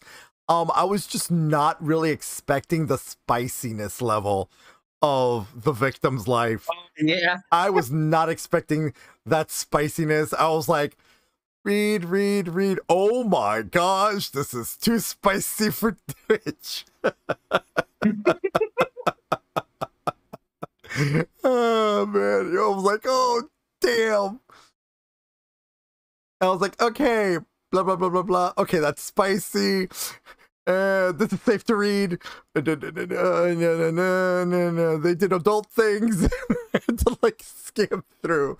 But if you all want to read the spiciness, just go ahead and get yourselves a copy of Nine Lords of Night by a novel by Cesar Torres. They're easily accessible, everybody. I'm just saying. Uh, and yeah, oh my goodness, I've just I enjoy reading books for you all. I know it doesn't really get um the views and stuff like that, but that doesn't matter because that's what we're here for. We're here to enjoy this story um because this is kind of like our little book club and uh and that's what it's for here. It's for us to enjoy this little book club moment and and just uh that's what story time with DB is. It's it's it's book club. It's our little book club. And um I will read what I can when I can. Um, but my, the main focus to always um, spotlight uh, Black, Indigenous, and people of color authors, and also LGBT authors as well. Um, because you know we need to be seen, we need to be heard, we need to be read. So there, that's why. That's why I do it. I do it because not for the views, but or because it because because I enjoy reading the books. Like I read this book by um my goodness. By Rena Baron called Kingdom of Souls. And oh my goodness. I still haven't read the second book in the uh the second book of Kingdom of Souls but I am telling you people it's so good. That's a book I also recommend. But yeah we're right for right now we're doing um Lords of Night. And we're gonna continue doing Lords of Night. Yeah, it's fundamental. Yeah. Um, but no, it, like I said, I really enjoy reading these books, and the fact that I get to read uh, a friend's book makes it even more thrilling for me. Um, I've been dying to read these books, and so to get to read it with you all, it's even better, especially with the craziness that this stream brings with the two telenovela modes. Thanks, Roku.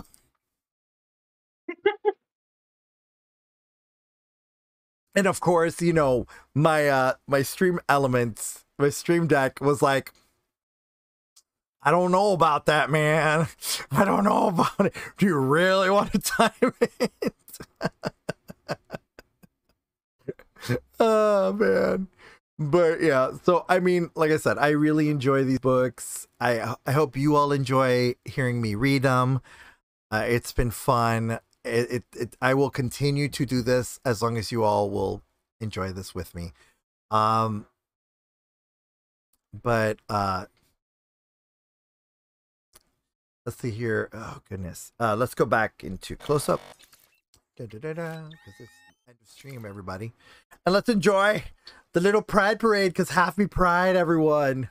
Happy pride. Um just so you all that don't know This book is incredible. Love it so much I need more. i agree i agree snacks i i need more too i need more too i can never get enough uh it, it's it's just really good it's just really good snacks you you have a good ear you definitely have a good ear in that bulb that you are. all right, everyone. So, um, I want to thank you all for hanging out for this uh for this very special uh Nine Lords of Night stream. Um, we are also going to be uh tomorrow. Uh, for, for oh yeah, but for the entirety of of Pride Month, I will be continuous. There will oh, you'll see the Pride Parade in all the streams, so it's gonna be like this for all month long. Um, also, uh, what was I gonna say? Oh, thank you so much, LED. And you have yourself a great evening. Thank you so much for sharing your book with the world. Uh, I cannot wait to be able to read uh, Hall of Mirrors after I'm done with Nine Lords of Night because oh, this is so getting good. This is so getting good. I I'm I can't wait to see how much of both books is in the third book. Um, but anyways, so but yeah, uh, but thank you all so much. Thank you, LED. Uh, tomorrow is gonna be a, and we're gonna be doing uh, oh my goodness, Stardew Valley with Akaros, and Thursday we're gonna be doing some more um Final Fantasy 14 with the generics in the uh and with uh with Arden Whitefur. And then Saturday we're gonna be going back to our Nuzlocke. Uh what I might do is I might alternate Nuzlocke and um 13 Secret City and not 13 Secret Cities. We already finished 13 Secret Cities and Nine Lords of Night. So we might do that to take breaks in between the Nuzlockes. It all depends on how I feel tomorrow. Um, oh, actually, how, depending how, how we do on Saturday with the Nuzlocke. Uh, if we need to take a break from it weekly, you know, every other week, we'll do that. But um, I will let you all know. So just stay tuned to the Twitter for the schedule updates. Uh, and again, thank you all so much for watching. Have an incredible evening. You can't, you don't have to go home, but you can't stay here. Good night.